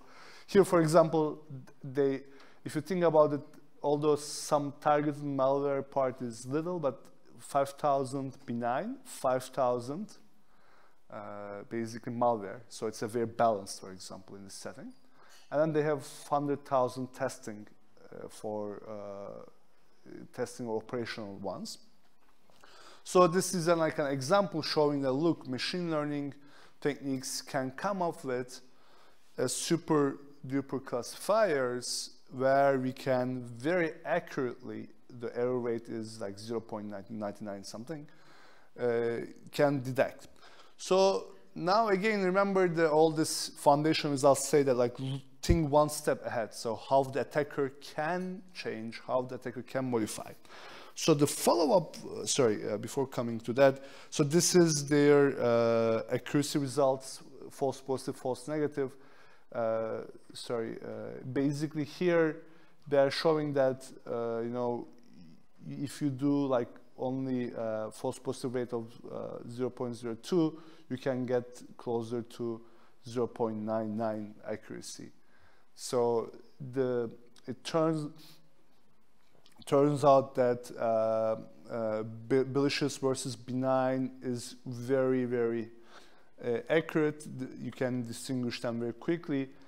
For distinguishing between opportunistic versus targeted, if you recall, it has two layers, distinguishing benign versus malicious, and malicious, they try to distinguish these two type malicious. It's not as good, but still uh, they have uh, not good accuracy here as well. Above, it's not like 999 something, but it's above 90% and so on accuracy. So again, this is kind of showing that, look, machine learning techniques can work very well and you cannot human, a human cannot look every PDF document, but in a second, uh, we can come up with a good, you know, accurate result about whether this PDF document is malware or not. So, of course, again, not thinking next step, how the attacker may adapt, uh, have a paper out of it. So basically, in this work, they look at the previous one and try to figure out how you can attack this machine learning model. Of course, as we know, the attacking will happen based on changing features. Now the question is in PDF domain, which features you can change. So they really investigate this previous work uh, and the random forest one. Why? Because it's the best one, right? It has accuracy of, well, what does it, like 90, 0.99 uh, accuracy. And here the attacker now modifies the PDF file. In a sense, it changes the features used by the random forest. And then, of course, if the attacker can change, and this is why it's, uh, it may be harder, the attacker can arbitrarily create a PDF file, right? It can add dummy content in it. It can add few pieces where it may look legitimate. So what they've uh, what they look into is that uh, they have like original PDFs. Let's say there is this uh, injected content, uh, and it turns out that PDF they also use some facts about PDF inside knowledge. For example, PDF readers jump from trailer to direct to cross-reference table, skipping injected content, content completely. In other words, it won't look like, uh, it won't be a corrupted thing, so you can make it a real PDF kind of document. So what, why this is important, this is kind of showing that if you don't consider attacker adaptation, attackers may come up with all these features and things. And they look into two types of attack. One is called mimicry attack. So they try to uh, transform a malicious sample so that it, it mimics a cho chosen benign sample as much as possible. Uh, so basically, you know, a good PDF file. Here the assumption is that, uh, which I, I skipped, attacker knows which features of a PDF is uh, used to detect. And of course, this is not surprising. I think there was a paper yesterday, right? So you can read the, the attacker can read the paper, know which features are used in that paper, and which features are used in the machine model. So attacker know that. They also, these, uh, there, were, there were some other attacks based on uh, certain techniques. So if you know a technique like SVM, maybe you can choose more specific attacks uh, in modifying things. And this is more applicable for SVM and so on. So they have another set of attack for uh, another set of attack against uh, these specific things. So I will, I will just jump to the results. Uh, these results uh, look into different scenarios. Uh, one scenario is that it knows the feature set. In other words, it know, attacker knows which features are used uh, for the data mining. And then uh, they have a few other scenarios where attacker may know feature set and the classifier used and try to use the classifier features for attacking. And then uh, they have a combination of features training set, features training set, and, and so on. And then this is the score that the random forest or the, the, the classifier is giving. Uh, uh, before the attack happens, all, all the scenarios and the, the files that try has close to 100% score, which means that it says uh, malware score is 100, so it's the highest score level. So before the attack happens, the classifier, before the file is modified, classifier can classify with uh, almost close to 100%. Okay? Uh, now what will happen is that if, if you set the threshold as 50%, in other words, if something is higher than 50, you say that file is a malware or potential malware. What they show is that uh, except for this, uh, this scenario for mimicry with F, Remember, GDKD is for sp against specific uh, SVM type models. What they're saying is that if the threshold is 50%, if you go below 50%, then you will be classifying many legitimate PDFs as malware. In that scenario, 75% attacks would be classified as benign. So by changing the PDF, which was initially thought to be classified 100% accurately by this machine learning based technique, they managed to uh, make 75% of the attack points to be classified as benign, even with a conservative threshold of 50%. Okay, so this was this is an example of how uh, a classifier built on easy to modify features. Okay, in this scenario, why, why it's easy to modify? If you look at the papers, this PDF thing looks like you know the whether it, uh, it exists certain section or whether the length of the certain uh, pattern, for example. So it has features about PDF document where in this scenario attacker can really successfully manipulate. Of course, there's a limit in the attacker scenario because still attacker needs to inject this malicious code in it somewhere. So that's the reason it cannot arbitrarily change everything, but it can change most of the things. And when, it's, when it can do, it has a good success uh, ratio. So this is not surprising because all this theoretical stuff, at least we were discussing before, was saying that if, if the, most of the features are easier to change, then attacker becomes more successful in evading the classifier. So this is, I think, one of the early work that kind of empirically uh, showed that intuition. There are, of course, some other probable other work as well, but I, I find it interesting to show uh, this uh, tra trade-off. Of course, there were, what can you do? Again, in this work, they suggest, you know, well, uh, why don't we uh, do, they call it vaccination defense, uh, modify a fraction of malicious sample in the training data set in such a way that they are more similar to expected attack samples. So their solution in a sense, uh, remember the previous part, the solutions we were looking into tried to model the attacker capabilities in the learning phase, right? So they're saying that maybe if you don't want to use sophisticated model like that, just add few instances modified based on the expected attack and build your models based on, based on that, okay? Of course, this is only effective against uh, correct anticipated attacks. So I think from practical, at least I promised some practical uh, intuitions, I would say, uh, this shows that anything is modifiable uh, is quite easily deceived. Of course, if you think about PDF malware, if a malware tries to download some document, for example, if you can model that, it's very hard for attacker to change that behavior. And it's very hard to uh, sidestep that. Uh, this that was an attack for uh, the, I mean like PDF malware detection and an attack for that. And then there was some work. Uh, remember initially we talked about foundation part on learning with noise.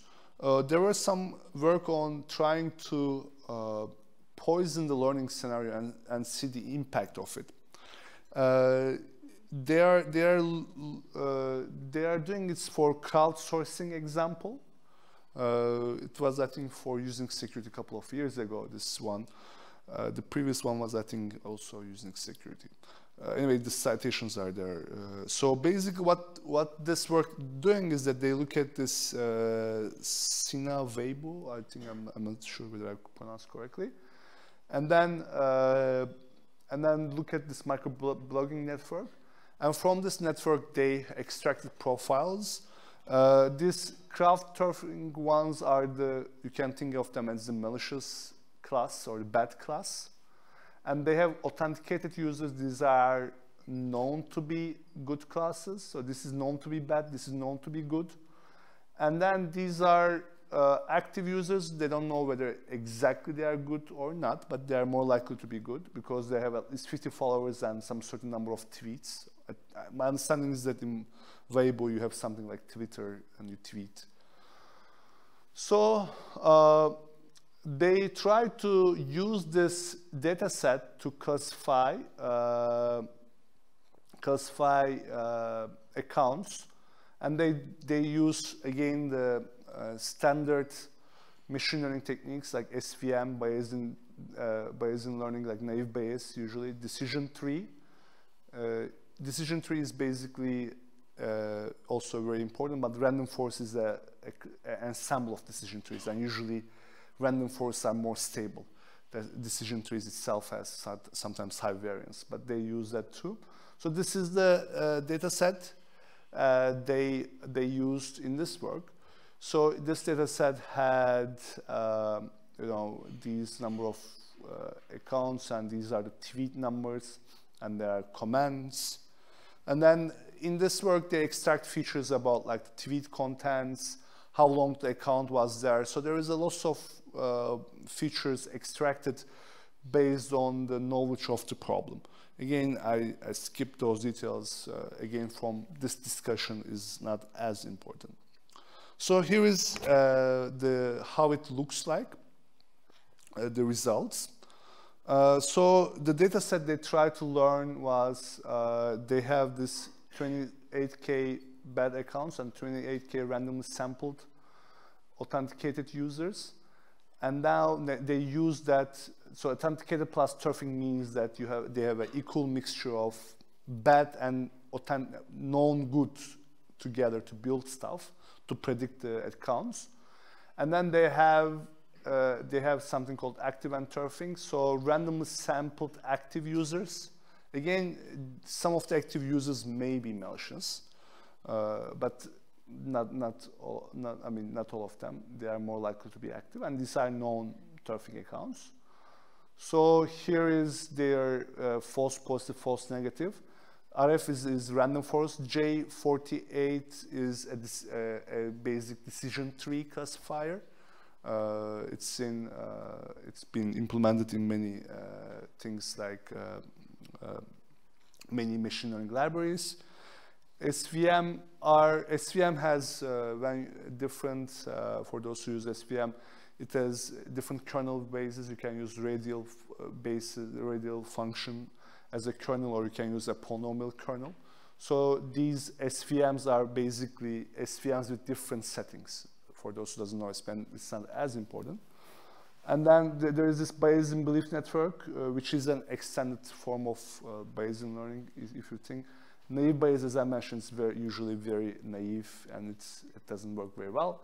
So as you see, when you have uh, when you have authenticated good accounts combined with bad accounts, turfing accounts, uh, you have uh, classification as false positive, false negative quite uh, low.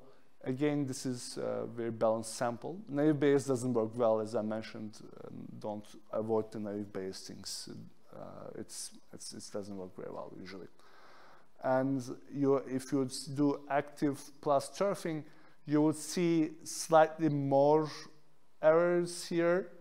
Uh, why? Uh, because some of the actives may not be really good ones. So it may be, uh, you know, deceiving the classifier or classifier may be learning something. So this is the initial set setting, so it looks good, machine learning looks like working. In this work, they, they show that now how we could attack this, and they look into attacking this scenario.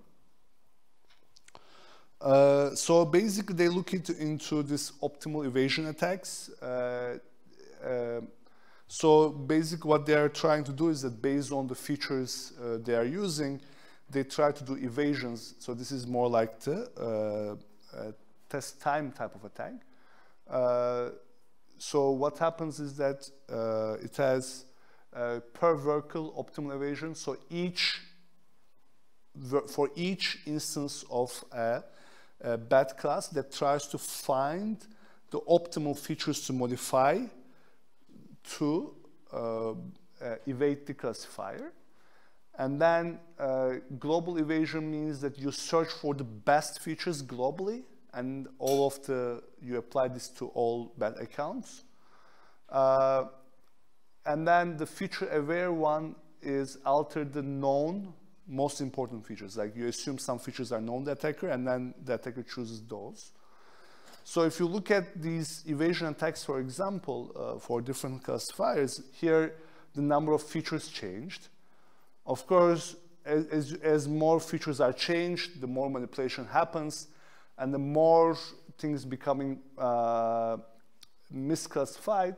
In other words, after in some scenarios such as uh, decision tree, after changing couple of features, almost 90% or so can evade the detection, okay? But of course, more powerful, I would say, techniques such as random forest requires more manipulation. So I think from here, it shows that, of course, understanding attacker and capabilities is important, but there's a difference between models to models. So more powerful models like random forest, this reason I always say that to start with random forest as a baseline, uh, looks like, hopefully I won't fall down, uh, looks like uh, giving you a better resistance. And here, this is global optimal, so the number of, this is, this is effective even with few features. Why? Because uh, this is per user. You are choosing the best thing. So here it's a global, so you may need a little bit more to reach the 100% rate, but eventually it's still going there. If you look at decision tree and random forest, they are slightly, still the random forest uh, requires slightly more, but eventually they catch each other. And of course, uh, here uh, it's somewhere in between the SVMs. And also you see similar results here, but here you have uh, a slightly different result, but at the end, all of them really comes uh, and the evasion is successful. Again, why this is possible? Because attacker can easily modify the features that you are, you can, uh, you are using. And uh, these empirical results, again, showing that if this is the case, uh, machine learning technique could be attacked easily.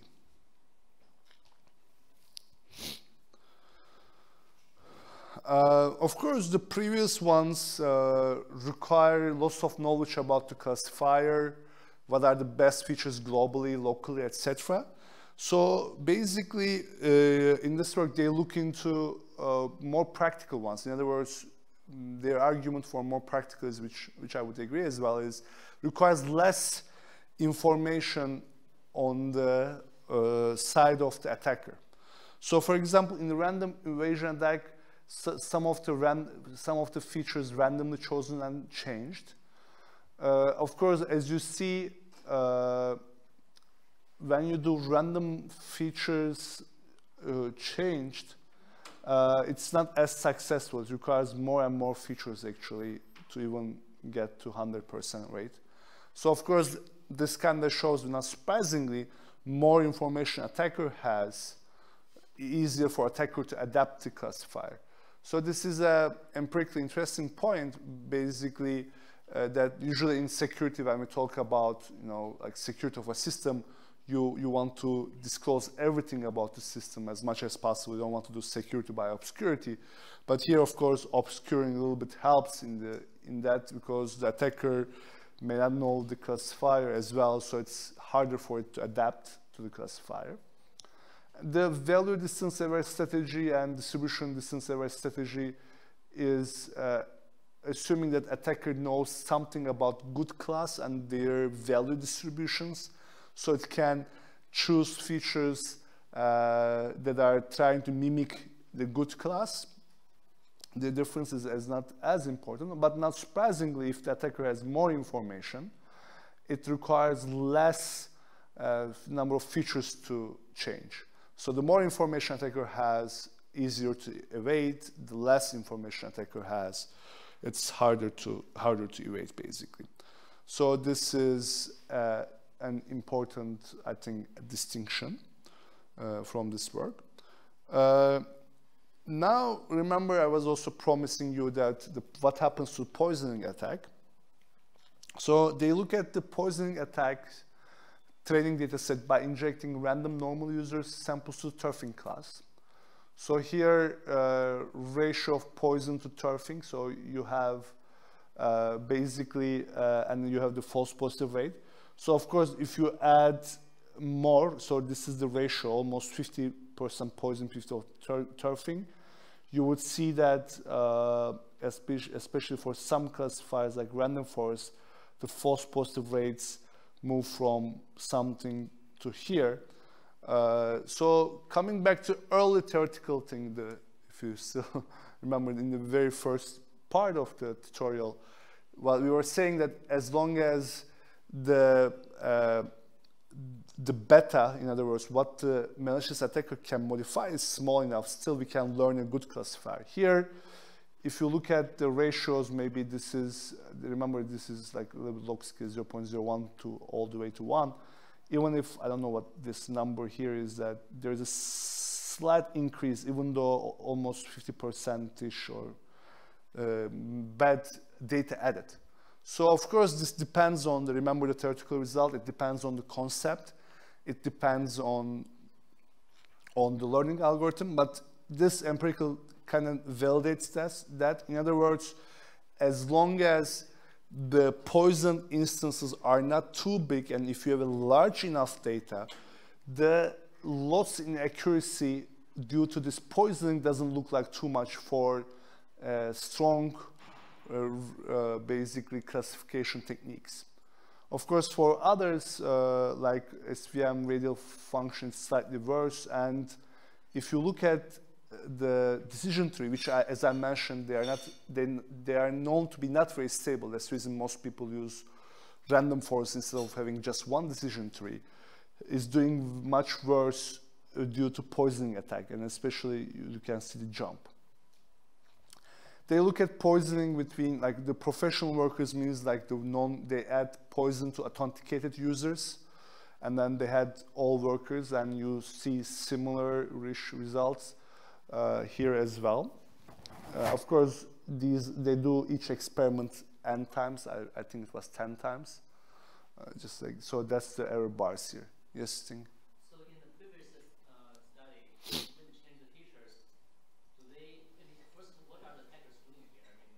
Which one in this work? This work, the, in, in this one, each worker, uh, based on the profile, they, they, they extracted certain features, okay? They had many, many features. Now, attacker, let's say I'm, I'm a, I have a fake profile, I'm a turfer or whatever. Yeah.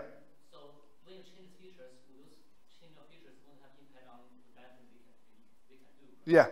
Do they do they, any of those study? For, for example, they may change all the feature, they can evade detection 100%, but then they cannot do anything bad anymore. So, so that's the utility. I don't think they look at the utility in this scenario.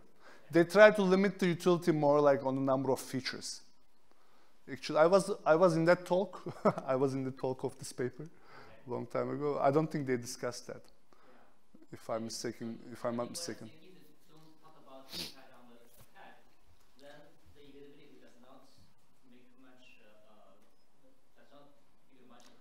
Correct. That's the reason, I mean, I was talking about at least the other more machine learning data mining work talking about utility of the attacker, like cost of changing and so on.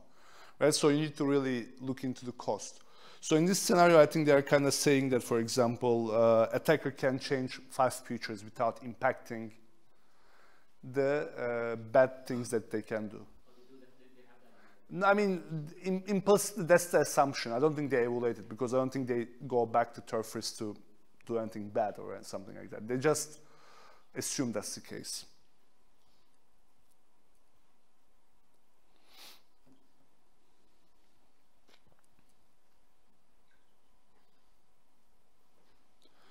Uh, they also look into uh, inject specific type of normal users to turfing class. So in other words, they look into what happens if you add some good data points to the bad class uh, kind of maybe uh, kind of coming to what you say so right? You inverse so here they try to inject normal users to turfing class and see how the classifier accuracy changing there. Again uh, results are so they are injecting accounts with 50% 50 percent tweets commented. So th this tweets commented is an important feature that they use. So assumption is that if you have tweets and many people comment your tweets, then uh, it's, it's a good indication of that your account is legitimate. Again, um, after you add lots of uh, good class, if you think about conceptually is that good class and uh, injected bad class after you inject many, many good accounts look very similar in this point. So therefore, false positive rate jumps up. But again, it can withstand to to some amount, like I don't know whether this is like where this points here. Similarly, they look at different type of accounts, injecting accounts with less than 150 followers. So they inject certain type of uh, bad accounts. Again, uh, the techniques look like resistance to a point, then it jumps up. So as, as I mentioned, uh, with the theory goes, you, there's a limit that you can handle if you have large enough data to poisoning attacks. So there are a few additional ones. Uh, uh, they also look at uh, the impact of poisoning on instead of adding any data to the training set, uh, they look into modifying the data in the training set. So for random, so for different classifiers, uh, they look at uh, modifying uh, different type of data based on some kind of features like entropy measures, burstiness, I don't recall what burstiness is like, based on some profile information, changing profile information. These are the feature categories actually they use, and then they change those categories to reflect the other class. And of course, uh, uh, basically, uh, changing uh, different features may have different uh, impact on the features uh, that's in terms of classification accuracy. But if you think about features that are none means nothing attacked in this scenario, it looks like here just modifying one feature uh, in one class look like doesn't impact the results as much. So if you see they are somewhat similar, although there are some increases here and there, uh, overall they look uh, similar. So uh, what all this means, at least from attacker point of view, and coming back to the foundational results, is that uh, I think there is a strong uh, indication that you need to really look into behavioral features. So the features that are uh, easy to modify, such as the PDF files, uh, you know, strings in it, or uh, online profile or tweet numbers, etc., is uh, quite easy to de detect or quite easy to manipulate. So I chose some examples. Again, there are zillions of papers doing malware, mobile malware detection, but I think uh, behavioral features, especially if the attacker wants to achieve a certain goal, would be harder to prevent. So for example, there was the paper yesterday, right? I don't know whether you attended that one, talking about extracting features from papers. And some of the features shown was like sending SMS, whether the, the malware or the software is calling an API function that allows the software to send SMS. It turns out that this is uh, a very good predictor for um, certain type of malware. And, oops, uh, and it's also uh, uh, hard for attacker to change it, right? If your malware's main point is to send SMS to a certain uh, paid sites, whatever you, you, may change the software source code, this and that, but it will be very hard to change this SMS sending part because that's the main behavior of the malware. So that's, for that reason, I think uh, looking into behavioral aspects of malicious uh, uh, thing done by the attacker, whether it's a spam, because in the spam, for example, they ask you to click something or go to do some action, or in terms of malware, where they try to, for example, exfiltrate data or well, they try to send SMS, looks like a, looks like a better way to do it. I chose one example on this, and then there was some discussion yesterday uh, on uh, using, uh, you know, data mining for that. But again, I think the important part is from adversarial aspect is at least uh, from outside, it looks like it will be much harder for attacker to manipulate the behavior. As the previous discussion says that because it wants to achieve this malicious call it has, maybe all other things uh, may not be as important, like, you know, which other API calls it's doing, but it has to do certain API calls to do that. So this example, this paper uh, looks into uh, machine learning uh, behavior, but uh, they look at the runtime behavior of an application. So this is important again because you can change lots of things in the binary, right? But during runtime, again, the attacker has certain goals, let's say sending SMS or exfiltrating data, that will be much, much harder to change. So this is, you can think of it as building a machine learning model based on features that are harder to change by the attacker. Okay, so this work is an example. As I mentioned, there are like zillions of work. I just chose one. And then this is of course, will be more resilient to worms and code obfuscation and other techniques. Why? Because they are very easy to modify, but not the behavior. Uh, of course, how do you learn the behavior? Uh, what they do is that they try to, again, learn an SVM model, and they try to differentiate uh, partial signature for malicious behavior from normal applications. And in order to do that, they really look into uh, call graph and behavioral things. So what basically they are doing is that they, they try to, uh, by observing lots of uh, runtime behavior of apps, they have normal application patterns and malware, and then they build an SVM, and then this SVM is deployed on the smartphone, and it will be basically observing the runtime behavior of the application and based on that it tries to classify.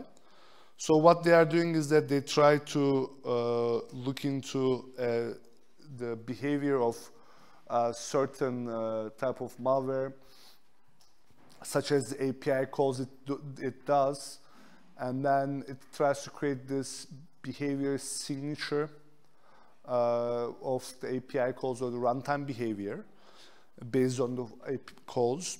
And then, uh, of course, it will be harder to build a machine learning model directly on this uh, big function called trees, and it may not be as accurate.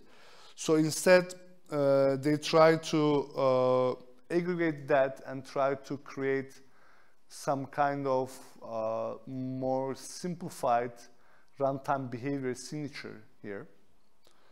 And then uh, they, of course, how do they do it? They do like graph pruning and aggregation to come up with this uh, more uh, compact representation of the runtime signatures. And, uh, and this way, uh, they could uh, basically they could basically build models. So I, I chose, as I mentioned, as an example of uh, uh, building classifier on harder to evade features such as the runtime behavior. Uh, of course, now when you go into uh, big data models and then you need to, yeah, go ahead.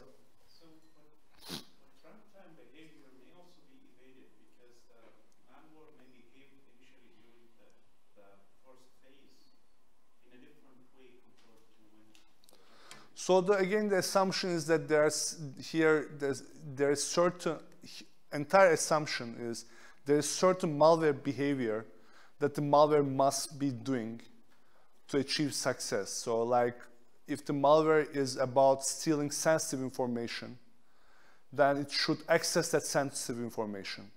Eventually it should send that sensitive information.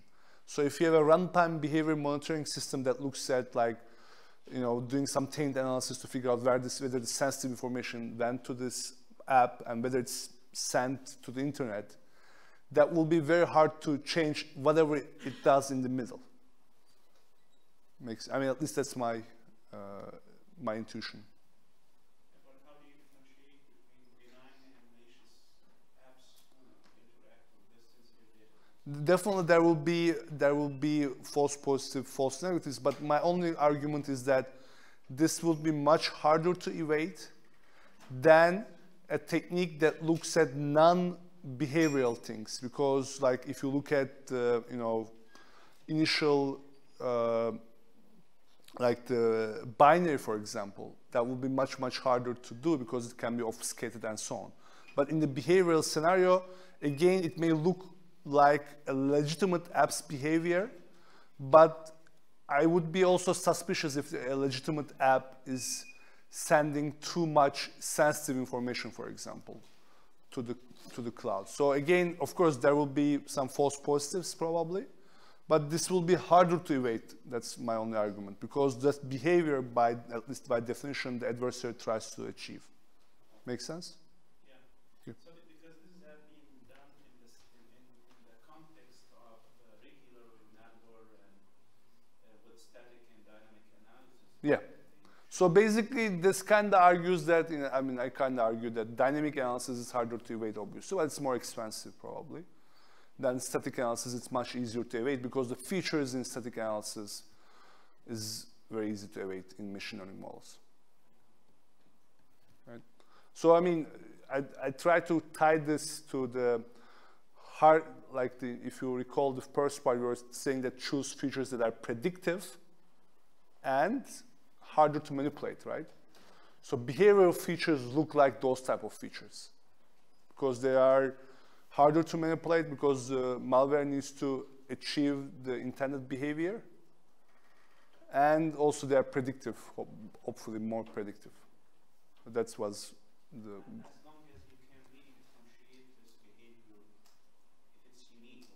Yeah, exactly, exactly.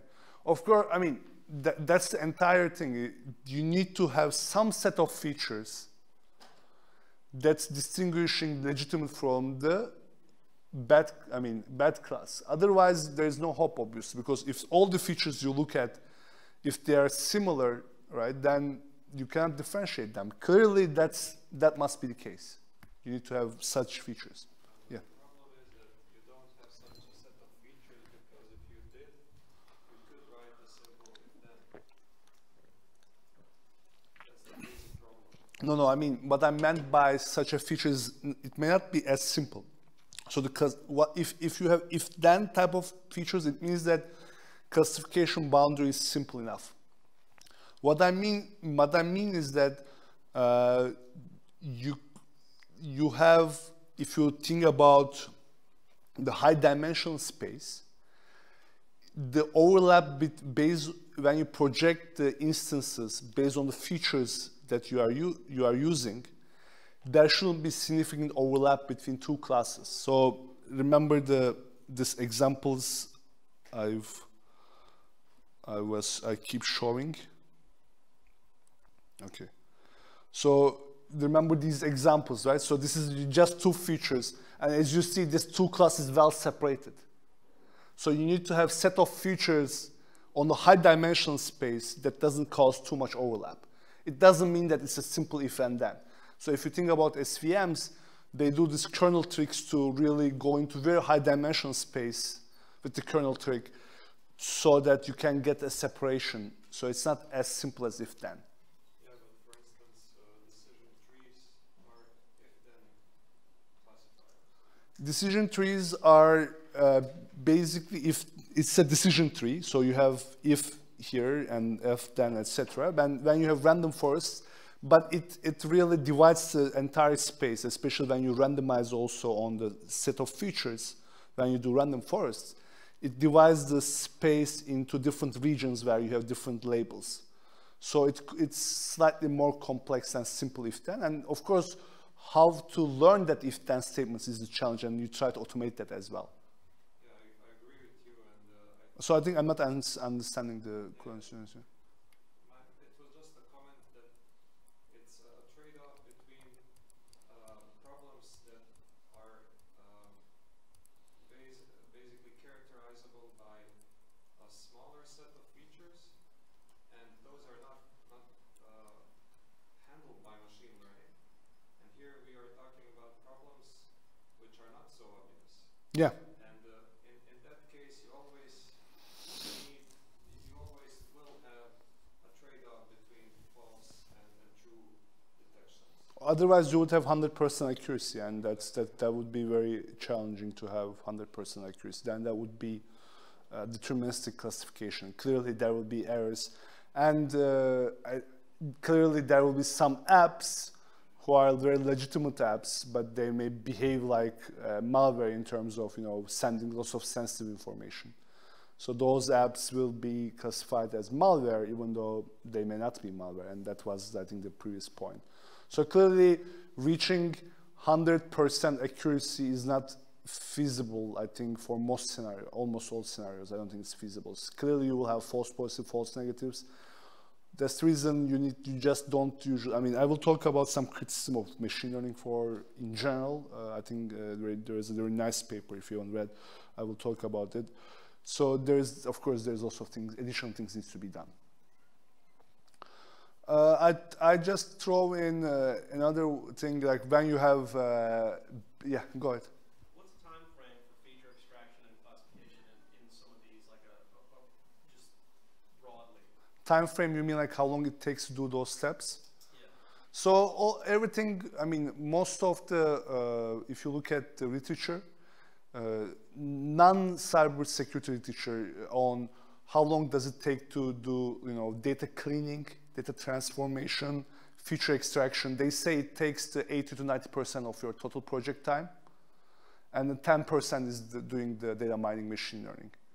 So usually, you know, get, cleaning the data, extracting the features, etc., is the most time-consuming step. Is that what you're asking? Well, I'm, I think if you get more in practice, if, you, if let's say you had a, you're getting new samples all the time, unlabeled samples, and you're trying to Oh, it depends on what type of feature extraction techniques. Most of the examples, like it's one second or something, it's very quick. Because I've, I've seen some work that, that suggests that the techniques that are being used currently are too slow for, for things like app stores to be able to use effectively because they get so many submissions on a regular basis.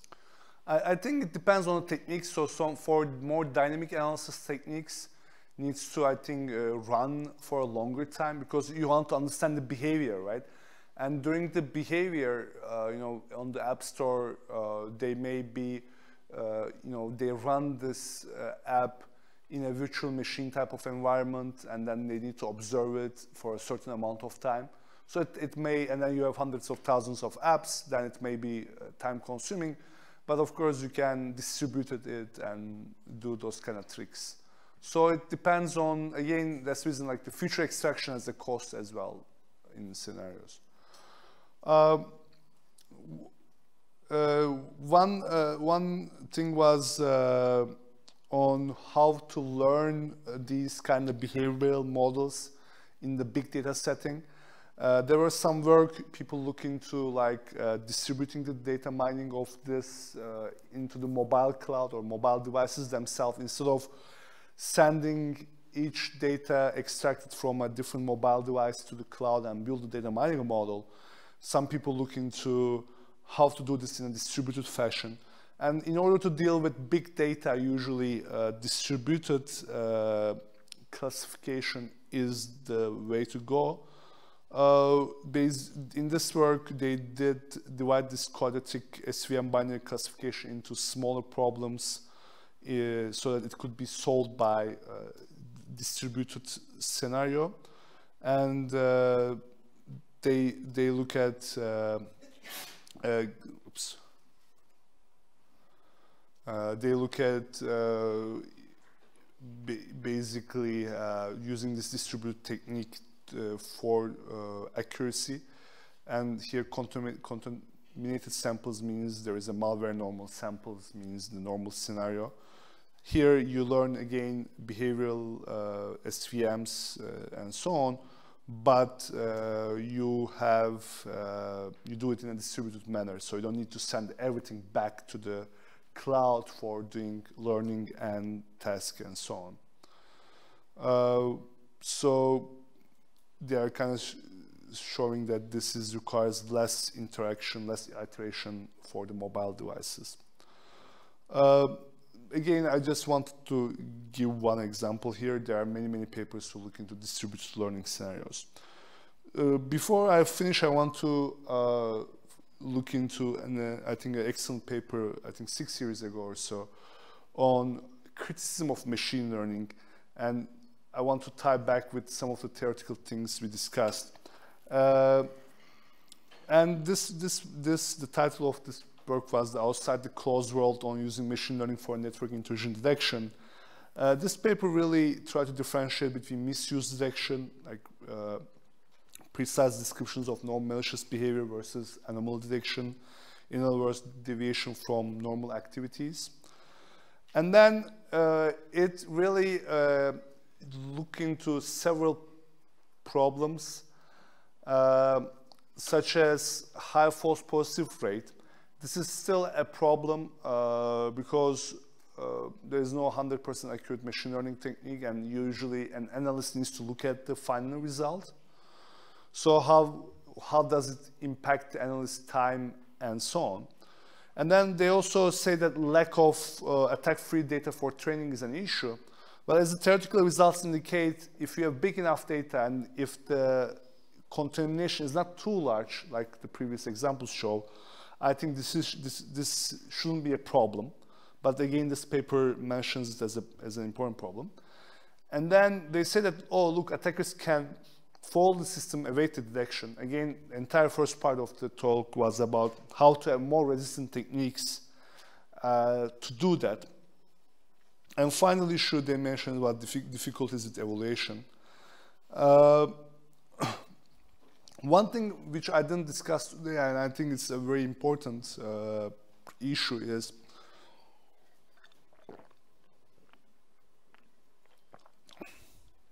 is the semantic gap and interpretation of the results, basically. And uh, that's, I guess, biggest criticism which hasn't been addressed as well. In other words, uh, when you throw in a complex machine learning model uh, such as SVM over thousands of features, and it comes up with a model and says this is this is benign or this is not benign, what does it mean? Okay, why it says so? And that's really hard to hard to interpret. There are some work in machine learning things, especially like decision tree or random forest, where you could get more human understandable outputs, but still there is a semantic gap is there. And of course, uh, the error costs sometimes could be high in the networking setting, like when you do false positives, false negatives. But I think this is kind of being addressed nowadays with the classifiers that get these costs into it.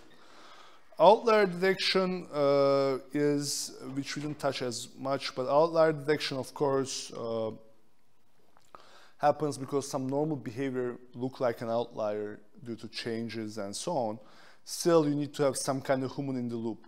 So that's where the human uh, come into play. So this is uh, just uh, uh basically an uh, active area in a sense. You need to add all those, uh, those aspects. so what, what this paper's recommendation was, understanding the threat model is important. Uh, and still, I think this is the, also all the theoretical models look into, like what kind of environment does the system target? What do the missed attacks uh, cost? What the attackers' skills and resources and uh, what concern does evasion pose? So this is, I think, uh, their recommendation and the theoretical models have similar recommendations. In a sense, if you, if you remember, all of these models try to really actively uh, try to answer these questions and model these questions to come up with more resistance model.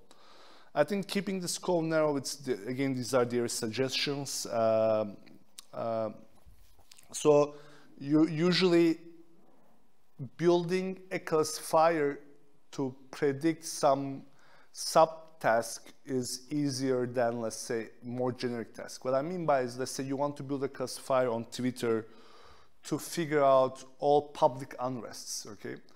It's usually much harder to, for example, build a classifier just predicting uh, protests or just predicting, let's say, riots or something. So it's usually easier to do classifiers predicting some certain subclass instead of a generic class. So there, the scope narrow is that maybe you can have multiple classifiers instead of just one big one. So that's the idea. Of course, uh, reducing the cost means that, uh, you know, there is a cost involved from the evasion attacker points and you need to consider those. Of course, evaluation is, I think, the semantic gap uh, of understanding results are still there. Oops.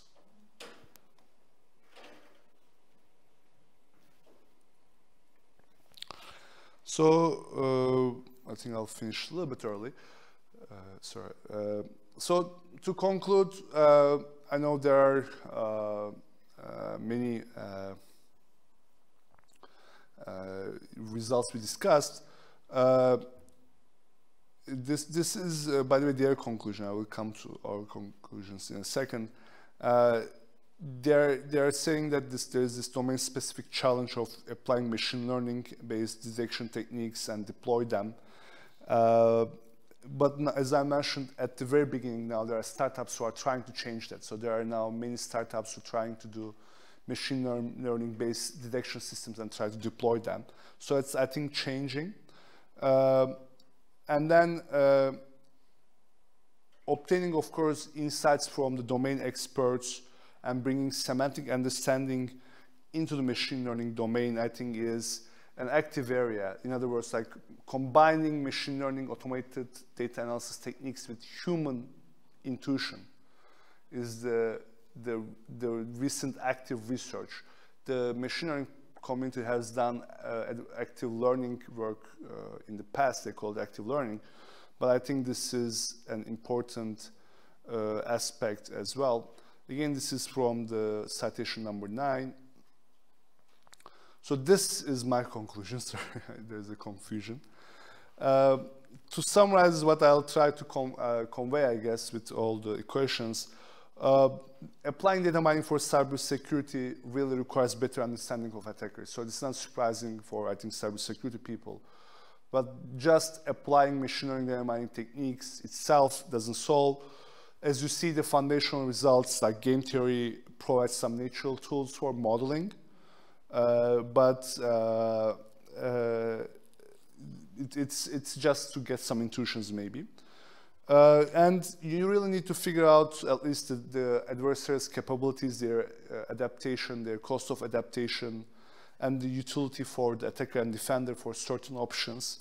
At least all the theoretical models indicate that that needs to be considered to have an effective long-term solution. Uh, I haven't discussed many, many things. One example is provenance of data, like where the data is coming from, who touched it may have important implications for building the mining models uh, and against poisoning attacks, for example, which is itself is important. And there are many other issues that I didn't touch, but I try to at least highlight the differences of machine learning and mining for cybersecurity. So I, I guess this is all this theoretical stuff is not so far away from ancient wisdom. Uh, I, I, think uh, this is a couple of thousand years old, right? So you need to, uh, if you know, you need to know the enemy and yourself. So here, in order to really apply machine learning for uh, data mining or big data for uh, cybersecurity, you need to know the enemy and you need to know the potential adaptations. Otherwise, uh, it will not be very useful. This means that choose uh, the features very carefully. So the rest of, uh, of features, I think, are more important than uh, the data mining models that you are using. But of course, as we have seen in some examples, robust machine learning techniques uh, are better. And final thing is the big data. Remember in the title I had the big or sexy part. So what does the big data involve? Of course, you need to scale to large data because the data is getting larger. Uh, I think choosing right of features, uh, right features for classification says good features are really hard for attacker to manipulate and they are indicative of attack. So in other words, a feature that is hard to manipulate and uh, differentiates good versus bad in terms of like information theoretic sense, etc. That's a good feature. And if you build good features, uh, if you build classifiers, machine learning models based on such good features, at least the theory suggests they are more likely to uh, to withstand evasion attacks and so on. So we were talking about malware detection. So in the malware detection, this says that you know synthetic features extracted from binary should be quickly useless. An attacker could quickly adapt to that because the change cost is very little. But behavioral features is probably harder to uh, modify because it requires changing the behavior of the malware, which is substantially harder. Um, of course, now, like, what's the right machine learning tool? Uh, I didn't touch on this area. There is so hot topic like deep belief networks. Uh, you know, it's now, if you have a startup on anything deep belief network, uh, it's it's highly valued. So it's a, now the hype uh, thing. Uh, there are, of course, many techniques, tools we, we used. So I think using different tools and so on could be could be critical. But of course, more resistant tools such as you know random forest or we have some candidates such as SVM uh, could be a better idea. But of course, there may be others. So I don't think there is one right machine learning technique for one detection. So you need to really try them for your task and see. Of course, after coming starting with the good features. In other words, the features that are hard for attacker to manipulate and indicative of attack, basically in the previous examples, we talk about like sending SMS. Maybe it's only few of the legitimate apps send SMS. Let's say if that's the case, that's a good feature for against an SMS malware. Uh, I didn't talk too much uh, on this uh, on this part uh, of uh, efficient distributed processing. Uh, you could give an entire two days tutorial on any one of them. And actually, if you Google online, you would find, you know, topics on these big data management systems. So current uh, uh, intuition is that if in order to scale to big data, you really need to have some kind of distributed processing system built on top of uh, built on, on, on top of uh, standard commercial hardware. The early example was Hadoop MapReduce, popularized by uh, Google. Uh, and then there is now Spark, I would say, becoming at least my favorite tool uh, used on top of uh, Hadoop. And there are a few others on, they call it NoSQL database systems. And I will just mention Spark briefly. Uh, because uh, Spark is basically a fast general purpose cluster computing system. So you can have 100 machines and you can go for terabytes of data. And the nice thing about these kind of tools is that it has APIs in many, many languages, such as Java, Scala, Python. And then uh, they have an optimized engine that supports uh, general execution graphs. I'm not uh, going too much into the Spark, that was my initial thing, but I realized that it will require maybe like one hour itself to even give basic ideas of how Spark works and the libraries and so on. But uh, here, from, from our purpose is that uh, if you have a one terabyte of data and you want to build machine learning models to, for that, you can't do it on one machine. You need to distribute. But of course, instead of running your own distributed code to learn these models, there's already things like Apache Spark and Hadoop and so on, where you can use the things. Spark is especially interesting because it has uh, machine learning libraries already on it. And this SVM, random forest, uh, naive Bayes, and there are some also clustering techniques that are automatically built there. And they are built in a way that it could, the model learning itself could be distributed. So therefore, uh, once you figure out good features and nice techniques and so on, you need to distribute it for the big data. And these uh, kind of Spark type of things can do it automatically for you without need to worry about uh, the like scaling by yourself. And as I mentioned, it has lots of libraries. Uh, I won't be uh, talking about uh, those libraries as much, uh, but as I mentioned, they implement most common machine learning tools, uh, such as random forests and so on. And uh, they have support for like Java, Scala, Python, so you can write easily code on that. And there are other other things like Spark Streaming, uh, which is interesting if you want to update your models on the fly. So you can have a streaming framework where you can the data is keep coming and you change your updating model. So that's also possible. So I'll stop here. That was my acknowledgement. Uh, I will stop 20 minutes earlier. I guess no, you didn't ask too many questions. Uh, but uh, I will share the slides uh, online and I will put a few more pointers to Spark for those anyone, I, I know most people know it, but uh, it's there. So and I would be happy to answer more questions. So that's what I have. Thanks.